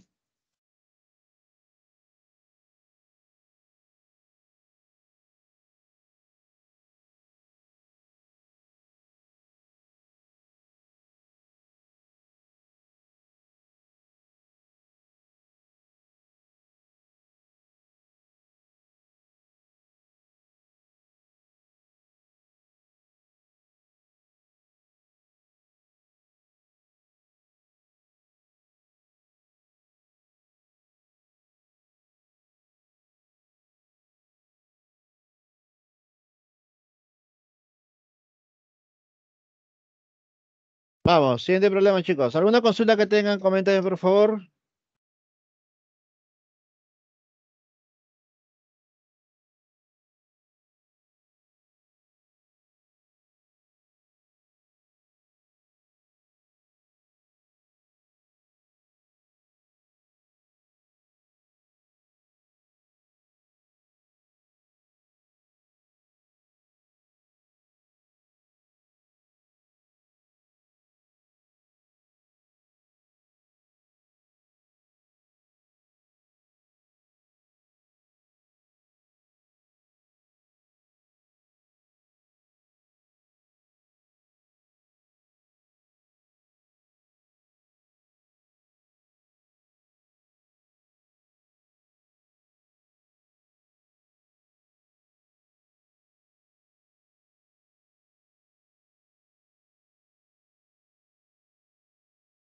Vamos, siguiente pregunta, chicos. Pregunta 5.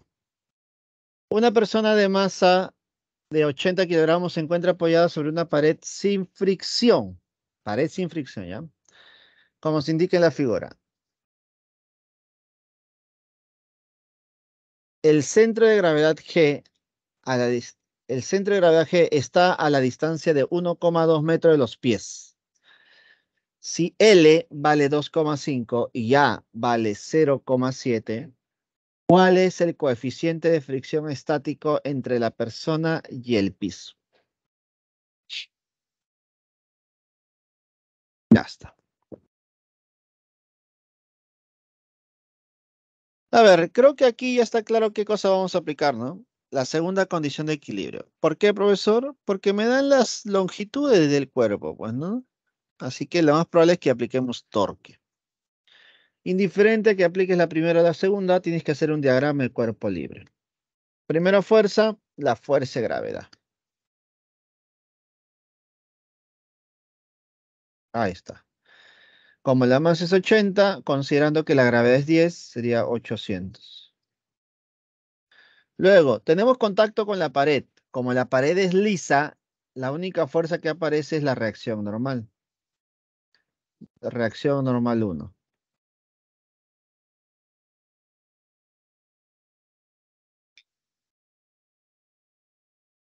¿Listo? Ahora, en el punto de abajo, en los puntos del pie, también hay contacto, ¿no? Por lo tanto, aparecerá una normal 2. ¿Listo? Pero, para evitar que se resbale, porque me dicen, está por resbalar, ¿no? Pero no se resbala. Entonces, como está a punto de resbalar, entonces debe haber una fuerza que se opone a ese posible resbalamiento, ¿no? Y esa fuerza va a ser la fuerza de fricción. Obviamente el cuerpo se puede resbalar hacia la derecha. Entonces, la fuerza de fricción es hacia la izquierda, que será igual a mu por la normal.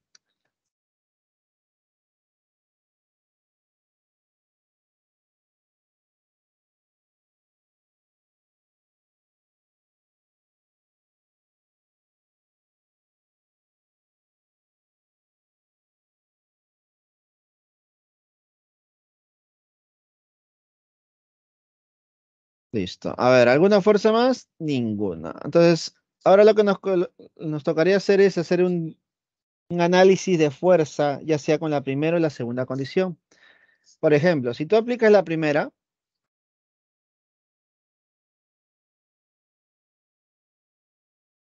a ver.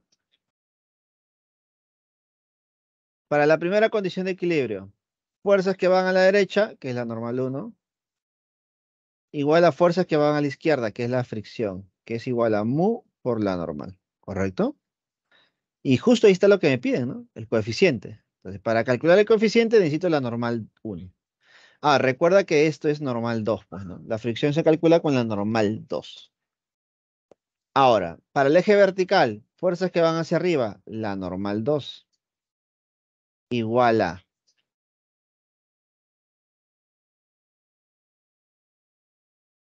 igual a quién?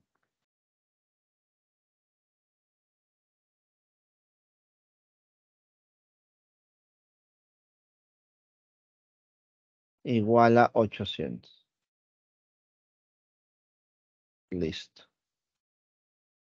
Ya está. Entonces, lo único que puedo encontrar aquí que la normal 2 es 800. Pero con esos 800 nos faltaría todavía un valor más, ¿no? Ya sea la normal 1, nos faltaría.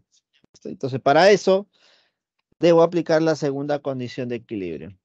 Y para aplicar la segunda condición de equilibrio, debo considerar un punto llamado eje de giro. Voy a considerar mi eje de giro en la parte más baja, aquí. ¿Y por qué ahí, profesor? Porque justo ahí aparecen o pasan varias fuerzas, ¿no? La normal 2 y la fricción. Como son dos fuerzas, estas dos fuerzas no generan torque. Y alguno dirá, profe, pero está eliminando una fuerza que contiene lo que me piden. Sí, pero te das cuenta que nos queda la normal 1 y justo la normal 1 tiene el mismo valor que eso. Así que la voy a mantener por ese motivo, ¿correcto? Entonces, las únicas fuerzas que generarían torque sería la fuerza de 800 y la normal 1. Listo. Y para eso, debo calcular el torque de cada una de ellas, recordando cómo hacerlo. ¿Cómo se calcula el torque, chicos? Entonces, para eso voy a aplicar esto, ¿ya? El torque es igual a más menos la fuerza, distancia, por el seno del ángulo teta. ¿Listo? Seno del ángulo teta. Seno de la inclinación, ¿no? De la fuerza con el cuerpo.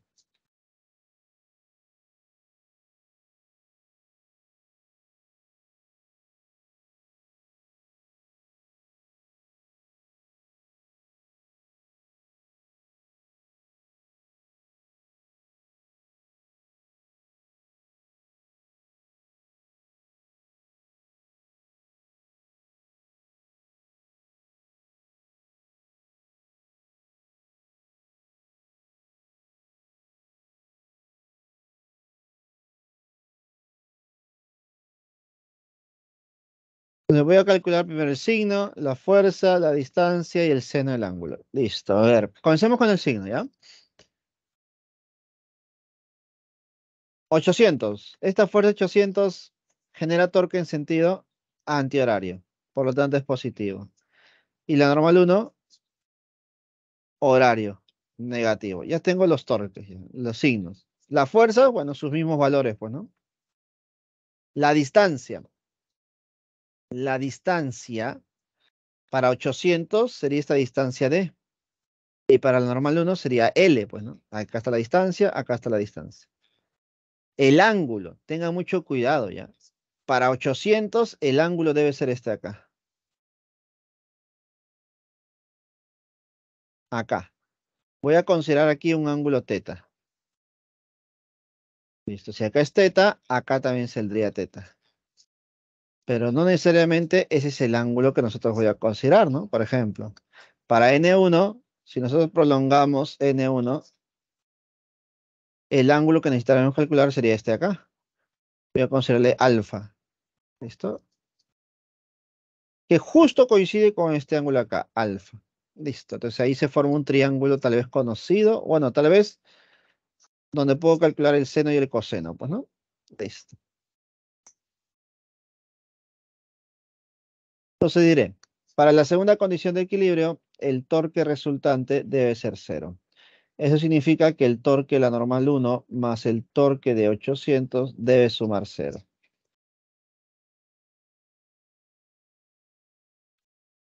Listo.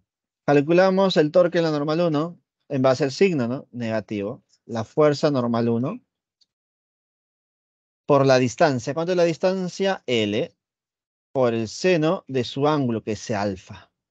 Más torque de 800, que es positivo. La fuerza es 800. La distancia es D. Por el seno del ángulo, que es teta. Igual a cero.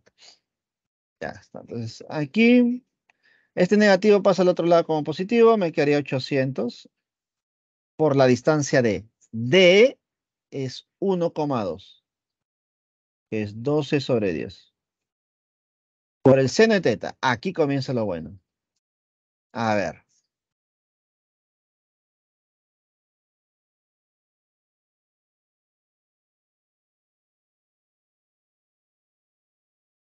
Acá sería teta, de acá sería alfa. Y te das cuenta que en este triángulo amarillo tengo este cateto adyacente que vale A, que es 0,7.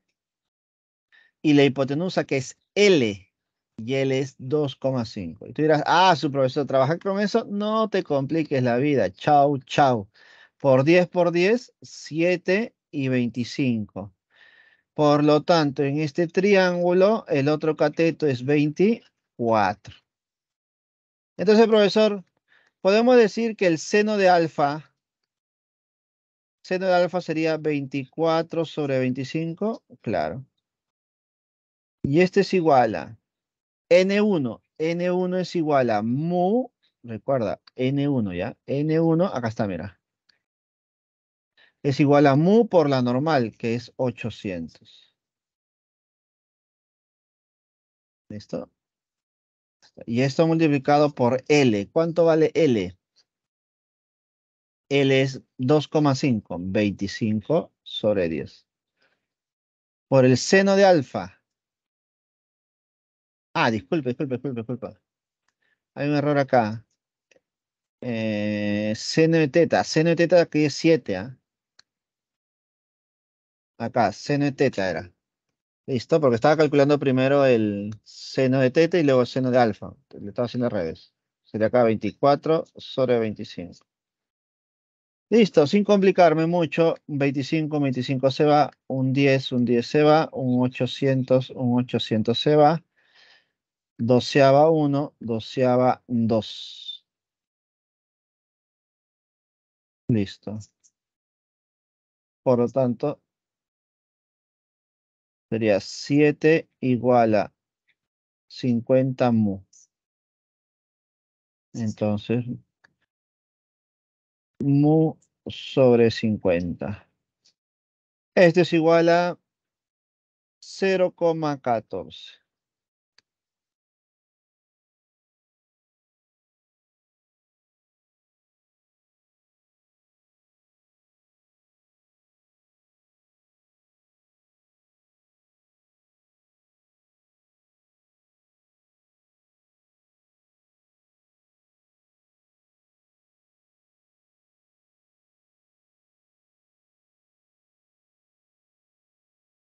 Listo, chicos. ¿Alguna consulta que tengan? Por favor, coméntenme.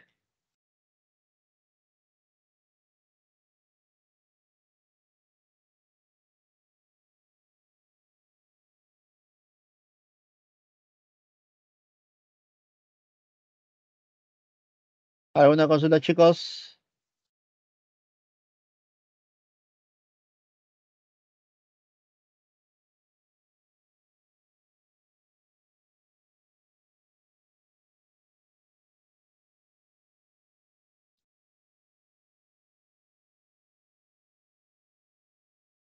¿Alguna consulta, chicos? Coméntenme.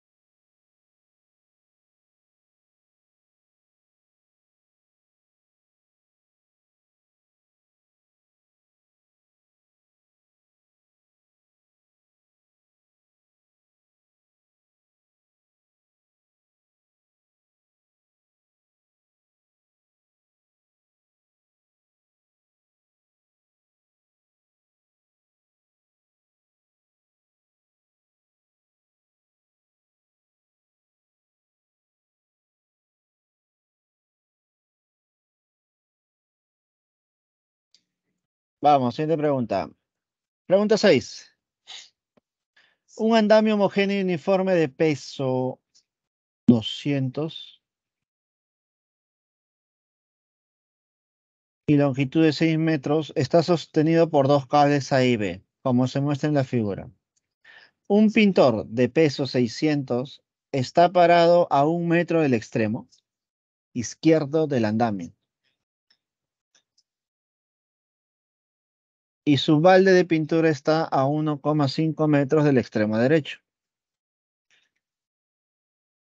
Si la tensión en el cable A es el doble que en el cable B, determine el peso del balde. A ver, directo nada más. Diagrama de cuerpo libre. Como es una barra un andamio homogéneo, ahí está, en el centro. 200 newtons. Recuerden, el centro significa mitad, mitad, ¿no? 6 metros y bien 3 y 3. También está el peso de la persona. ¿Cuánto es el peso de la persona? 600. El cual está a un metro del extremo izquierdo, ¿no? Un metro, acá un metro. Y su balde de pintura, Su balde de pintura está a... Ahí está. No sé cuánto es el peso, es justo lo que me piden. W. Está a 1,5.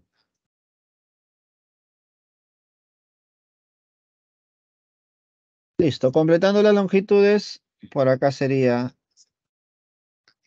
2 metros. Y acá sería 2,5. Ah, no, 1,5 o 0.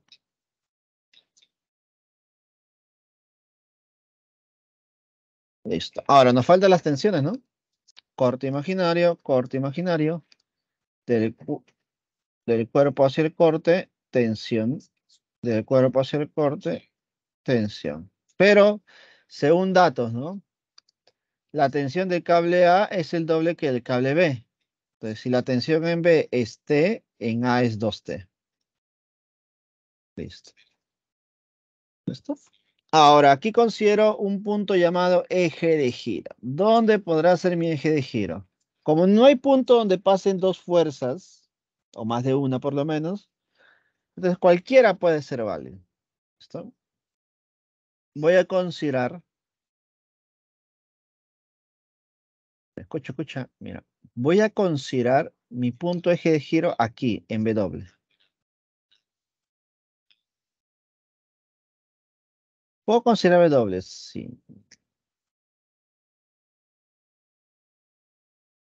Ahora, si yo calculo, si yo considero en W, significa que voy a calcular la tensión T. ¿Listo? Puede ser válido. Pero aquí va a depender ya mucho de tu ingenio, pues, ¿no? ¿Puedo considerar aquí? También. Y sale, también sale, chicos. También sale.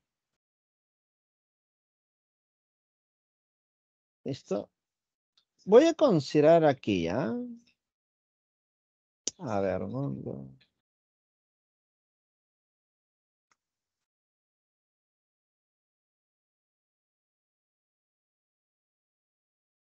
W, ¿ya? W, W. Vamos a ver, vamos a intentar esta oportunidad W. Aquí será mi eje de giro. Respecto a ese eje de giro, él no genera torque. Las demás sí. Te vas a dar cuenta que 200 generaría un torque en sentido antihorario positivo. 600 también sería torque en sentido antihorario positivo. ¿Listo? Ahora, la tensión T también. 600 positivo. Y la única que sería negativo sería 2T. ¿Listo? Ahí está.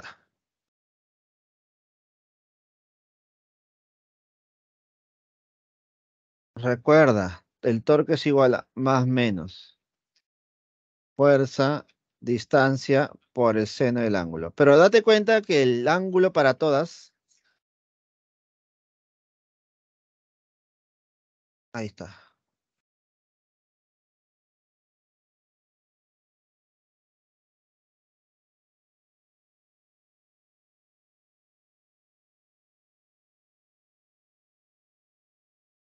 Ahí está.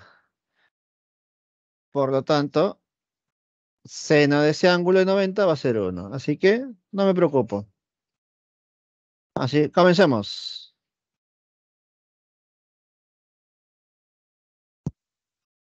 Torque resultante es igual a 0, por lo tanto, el torque de todas, de 2T, más torque de 600, más el torque de 200, más el torque de T, es igual a 0. ¿Listo? El torque de 2T sería negativo 2T por la distancia. A ver, ¿cuál es la distancia para 2T? Recuerda que la distancia hacia W, hasta el punto O, sería 3, 4,5, ¿no? Que es 45 sobre 10. Torque de 600 positivo, la fuerza 600 por su distancia. 3,5. 35 sobre 10. Más 200, más el troque de 200 que sería positivo. Por la distancia que es 1,5. 15 sobre 10. Más el torque de T que es positivo. T por la distancia que sería también 1,5. Y este es igual a 0. Date cuenta que todos tienen 10, 10, 10, 10, ¿no? Se va. Luego, eh, ¿qué más? ¿Todos tienen quinta? Quinceava, ¿no? Quinceava, quinceava. Acá quinceava 3. quinceava de 60, de 60 nada más, es 4, entonces me queda 40. Entonces, mira lo que me queda. Aquí me quedaría 4 por 35, sería 140. Más 200 más t es igual a Ahí está. Este negativo pasa al otro lado como positivo. Sería 6t. Listo. Entonces me quedaría 200 más 140. Sería 340. Es igual a 5t. Por lo tanto, t valdría 68. Ahí está. Pero no me piden atención t me están pidiendo el peso del balde. Entonces, para calcular el peso de balde ya analizo otro, otra condición de equilibrio. Bueno, ya no sería la segunda, sino la primera. Y para la primera condición de equilibrio, chicos, diremos fuerzas que van hacia arriba igual a fuerzas que van hacia abajo. ¿Quién va hacia arriba? Hacia arriba va 2T más T, igual a fuerzas que van hacia abajo, que sería 600 más 200, más W. Profe, 2T más T es 3T. Entonces sería 3 por T, que es 68. Este es igual a 800 más W. Uy, algo está mal acá. Algo está mal aquí.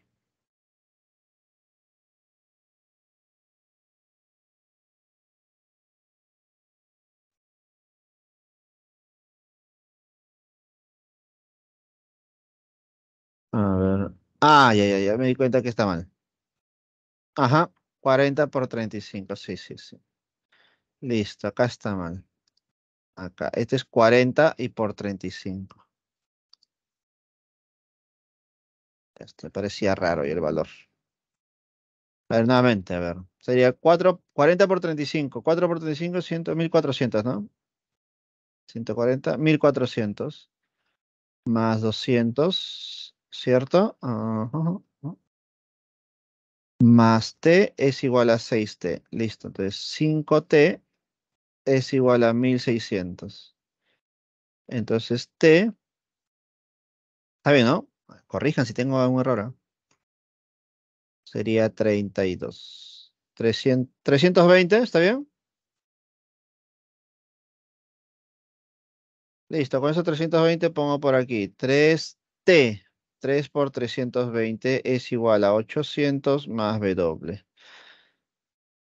320 por 3 sería 960 menos 800 es igual a W. ¿Cuánto vale W?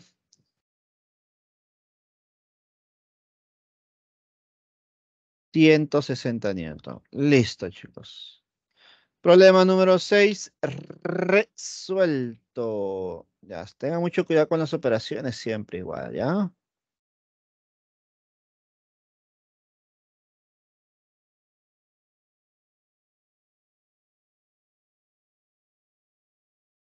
Vamos, siguiente pregunta.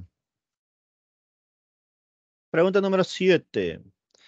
El antebrazo que se muestra en la figura se coloca un ángulo de 60 grados con, el con respecto al brazo superior. Hay una formación de ángulo de 60.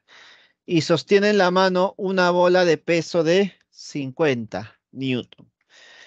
El peso total del antebrazo y la mano es de 30 newton. Es decir, de todo esto, su peso es 30 newton. Y su centro de gravedad está a 15 centímetros del codo. Entonces, 15 centímetros más o menos está por acá.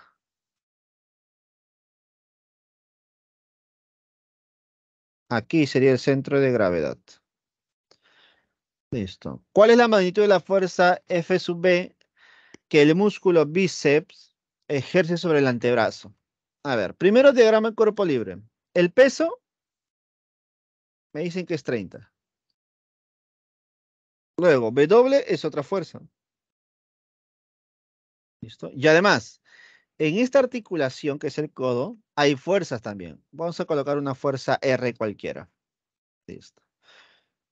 Como debo analizar el torque y la rotación, porque me dan longitudes, debo considerar un punto llamado eje de giro. se considera en el punto donde pasan las fuerzas que yo desconozco, no conozco. Entonces, eso sería en el punto O, aquí. Entonces, al generarse ahí mi punto eje de giro, este R no genera torque. Solamente generan torque 30W y la fuerza F sub B. ¿Listo?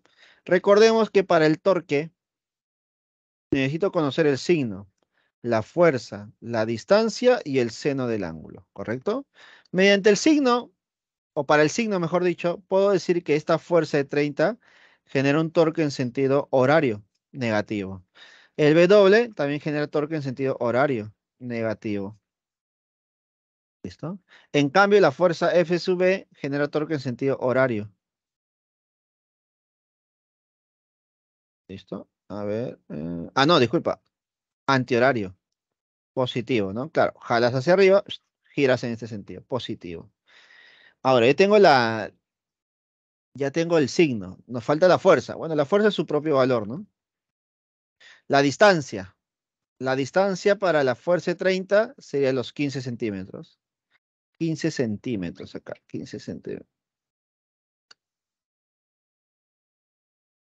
15 centímetros para la fuerza de 30. Para la fuerza W, 35.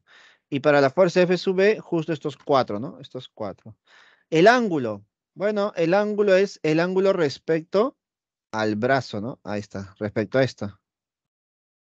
Y me di cuenta que el ángulo que forma la fuerza de 30 y la fuerza F sub B y la fuerza W, todos son iguales a teta. Teta, teta y teta. Entonces, todos tienen el mismo ángulo. Entonces, eso me permite calcular más rápido, pues, ¿no? Por ejemplo, torque resultante es igual a cero. Torque de la fuerza, fuerza F sub B más el torque de la fuerza 30 más el torque de la fuerza de W es igual a cero. Torque de la fuerza F de B Signo positivo. Fuerza FDB. Distancia 4 centímetros por el seno de teta. Más torque de la fuerza 30, que es negativo. La fuerza 30 por la distancia, que es 15 centímetros. Por el seno del ángulo teta. Más el torque W, que es negativo. La fuerza W por la distancia, que es 35. Por el seno de teta. Igual a cero. ¿Te das cuenta que todas son seno, seno, seno igualito? Se van a ir. Solamente me quedarían puros numeritos nada más para operar. Sería 4 veces la fuerza F sub B es igual a 15 por 30, ¿no? Sería 450 al otro lado, positivo. Más. La fuerza W, que vale 50 newton por 35. ¿Cuánto sería por 35? A ver, 100, 170, ¿no? 1700. Ahí está. Entonces, 1700 más 450, ¿cuánto saldría? Ah, no, disculpa. 1750. 1750. Más 450, ¿cuánto me quedaría? 2200. Por lo tanto, la fuerza del bíceps sería 2200 entre 4. Sería 550 newton.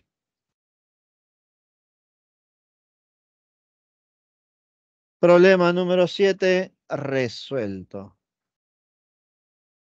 ¿Alguna consulta, chicos? Coméntame, por favor.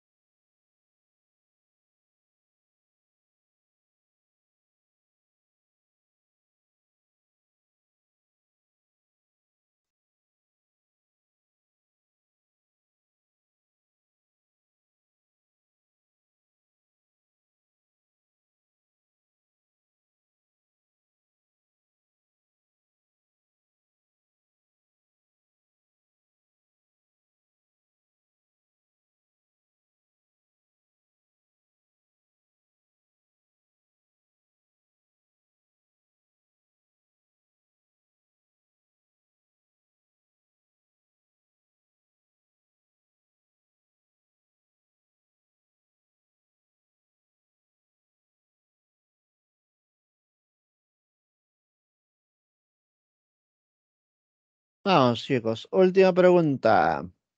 Pregunta número 8. Dice lo siguiente. La figura muestra una barra homogénea de peso de 40 newton y un bloque homogéneo de peso 80 newton, suspendido de su centro. Si el sistema se encuentra en equilibrio, determine la deformación del resorte cuya constante elástica es K igual a 15 newton por centímetro. Listo. A ver, diagrama de cuerpo libre. Te dicen que hay una barra homogénea de 40 y un bloque homogéneo de 80, suspendidos del centro. Entonces, este punto de acá es el centro de gravedad. Por lo tanto, ahí se concentra el peso de la barra. ¿Que sería cuánto? El peso de la barra sería 40. Pero también justo en ese punto está el peso del bloque, que es 80. Conclusión, ahí se concentran 120 newton. Listo. Luego hay una cuerda, corte imaginario, acá tenemos la tensión. Luego hay un resorte. ¿Qué está pasando con este resorte, chicos? El resorte está deformado, pero ¿qué está pasando? ¿Está estirado o está comprimido? ¿Qué crees tú? Coméntame, por favor.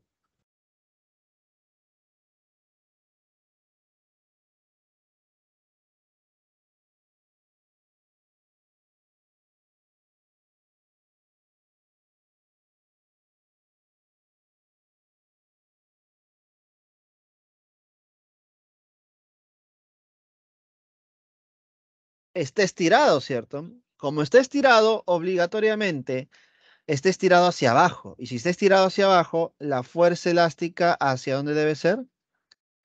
Hacia arriba. Y es igual a K por X. Recuerda que la fuerza elástica siempre es en contra de la deformación. Listo. Ya está. Entonces ya tengo todas las fuerzas, ¿no? Debo considerar un punto llamado eje de giro. Como me están pidiendo la deformación, entonces lo mejor o lo ideal sería considerar tu eje de giro justo en este punto. De tal manera que esta tensión no genera torque. ¿Quiénes generan torque? Este 120 y esta fuerza elástica. ¿Listo? A ver, profe. 120 es una fuerza que va hacia abajo y que generaría un torque en sentido horario, por lo tanto negativo. En cambio, la fuerza elástica es una fuerza que va hacia arriba, genera torque en sentido antihorario, positivo. La distancia de la fuerza 120 hasta el punto O es una distancia D, porque es el centro. Al otro lado también sería D, ¿no? Por ser el centro. Entonces, la distancia para esta fuerza es D. La distancia para la fuerza elástica sería 2D. ¿Listo? Entonces, recordemos que el torque es igual a más menos la fuerza, la distancia por el seno del ángulo. Nos falta el ángulo entonces. ¿Qué ángulo, qué ángulo forma esta fuerza con la, con la varilla? Un ángulo teta. ¿Y te das cuenta que todas las fuerzas forman el mismo ángulo teta? Mira, si acá prolongas la tensión, acá también sería teta. Entonces, todas son iguales. Pues tú ya más o menos sabes, ¿no? ¿Qué pasa cuando el ángulo para todas son iguales? Tú ya sabes ya qué va a pasar. ¿Listo? Entonces, ponemos por aquí. Torque resultante es igual a cero. Torque de la tensión, no, torque de la tensión no, sino torque de la fuerza 120 más el torque de la fuerza elástica es igual a cero. Torque de 120, signo negativo. La fuerza 120 por la distancia que es D por el seno de teta. Más el torque de la fuerza elástica que sería signo positivo. Fuerza elástica por la distancia que es 2D por el seno de teta. Y esto debe ser igual a 0. Seno, seno se van a ir. D y D se van a ir. Listo, entonces sería dos veces la fuerza elástica es igual a 120. Por lo tanto, la fuerza elástica, ¿cuánto será? 60 newton. Pero recuerda que a mí no me piden la fuerza elástica. Si te pidiesen, chévere, ya lo calculaste. Pero no me piden la fuerza elástica, me piden la deformación, el X. Y recordemos que la fuerza elástica es igual a K por X. Entonces 60 es igual a K, que vale 15. Por lo tanto, X, ¿cuánto valdría? 4. ¿Pero 4 qué? 4 centímetros.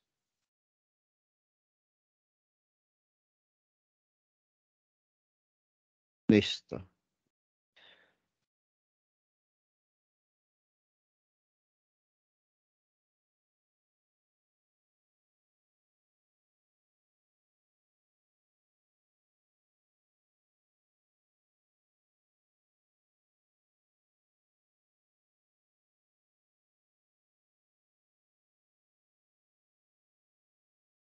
Listo, chicos. ¿Alguna consulta o duda que tengan? Coméntame, por favor.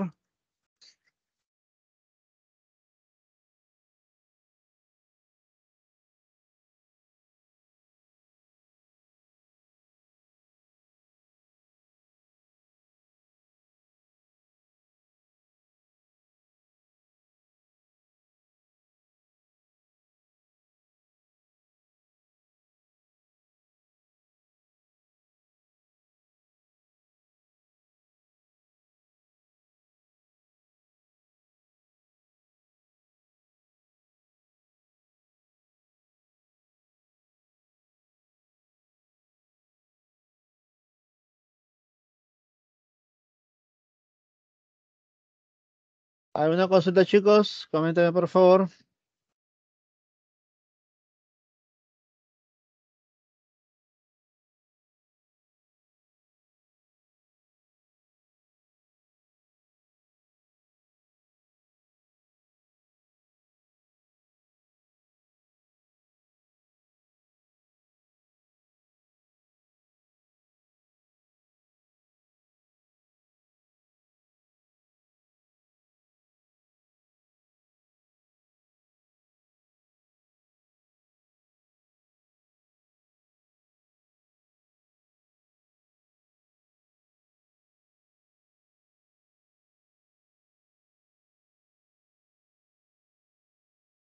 A ver, el segundo.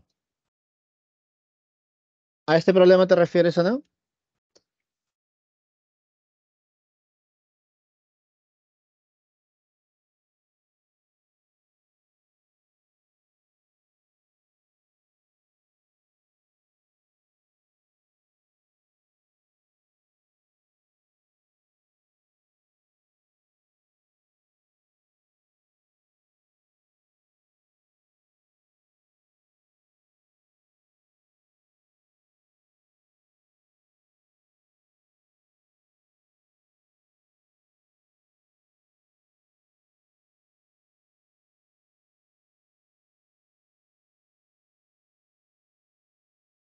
¿Alguna consulta, chicos? Comenten, por favor.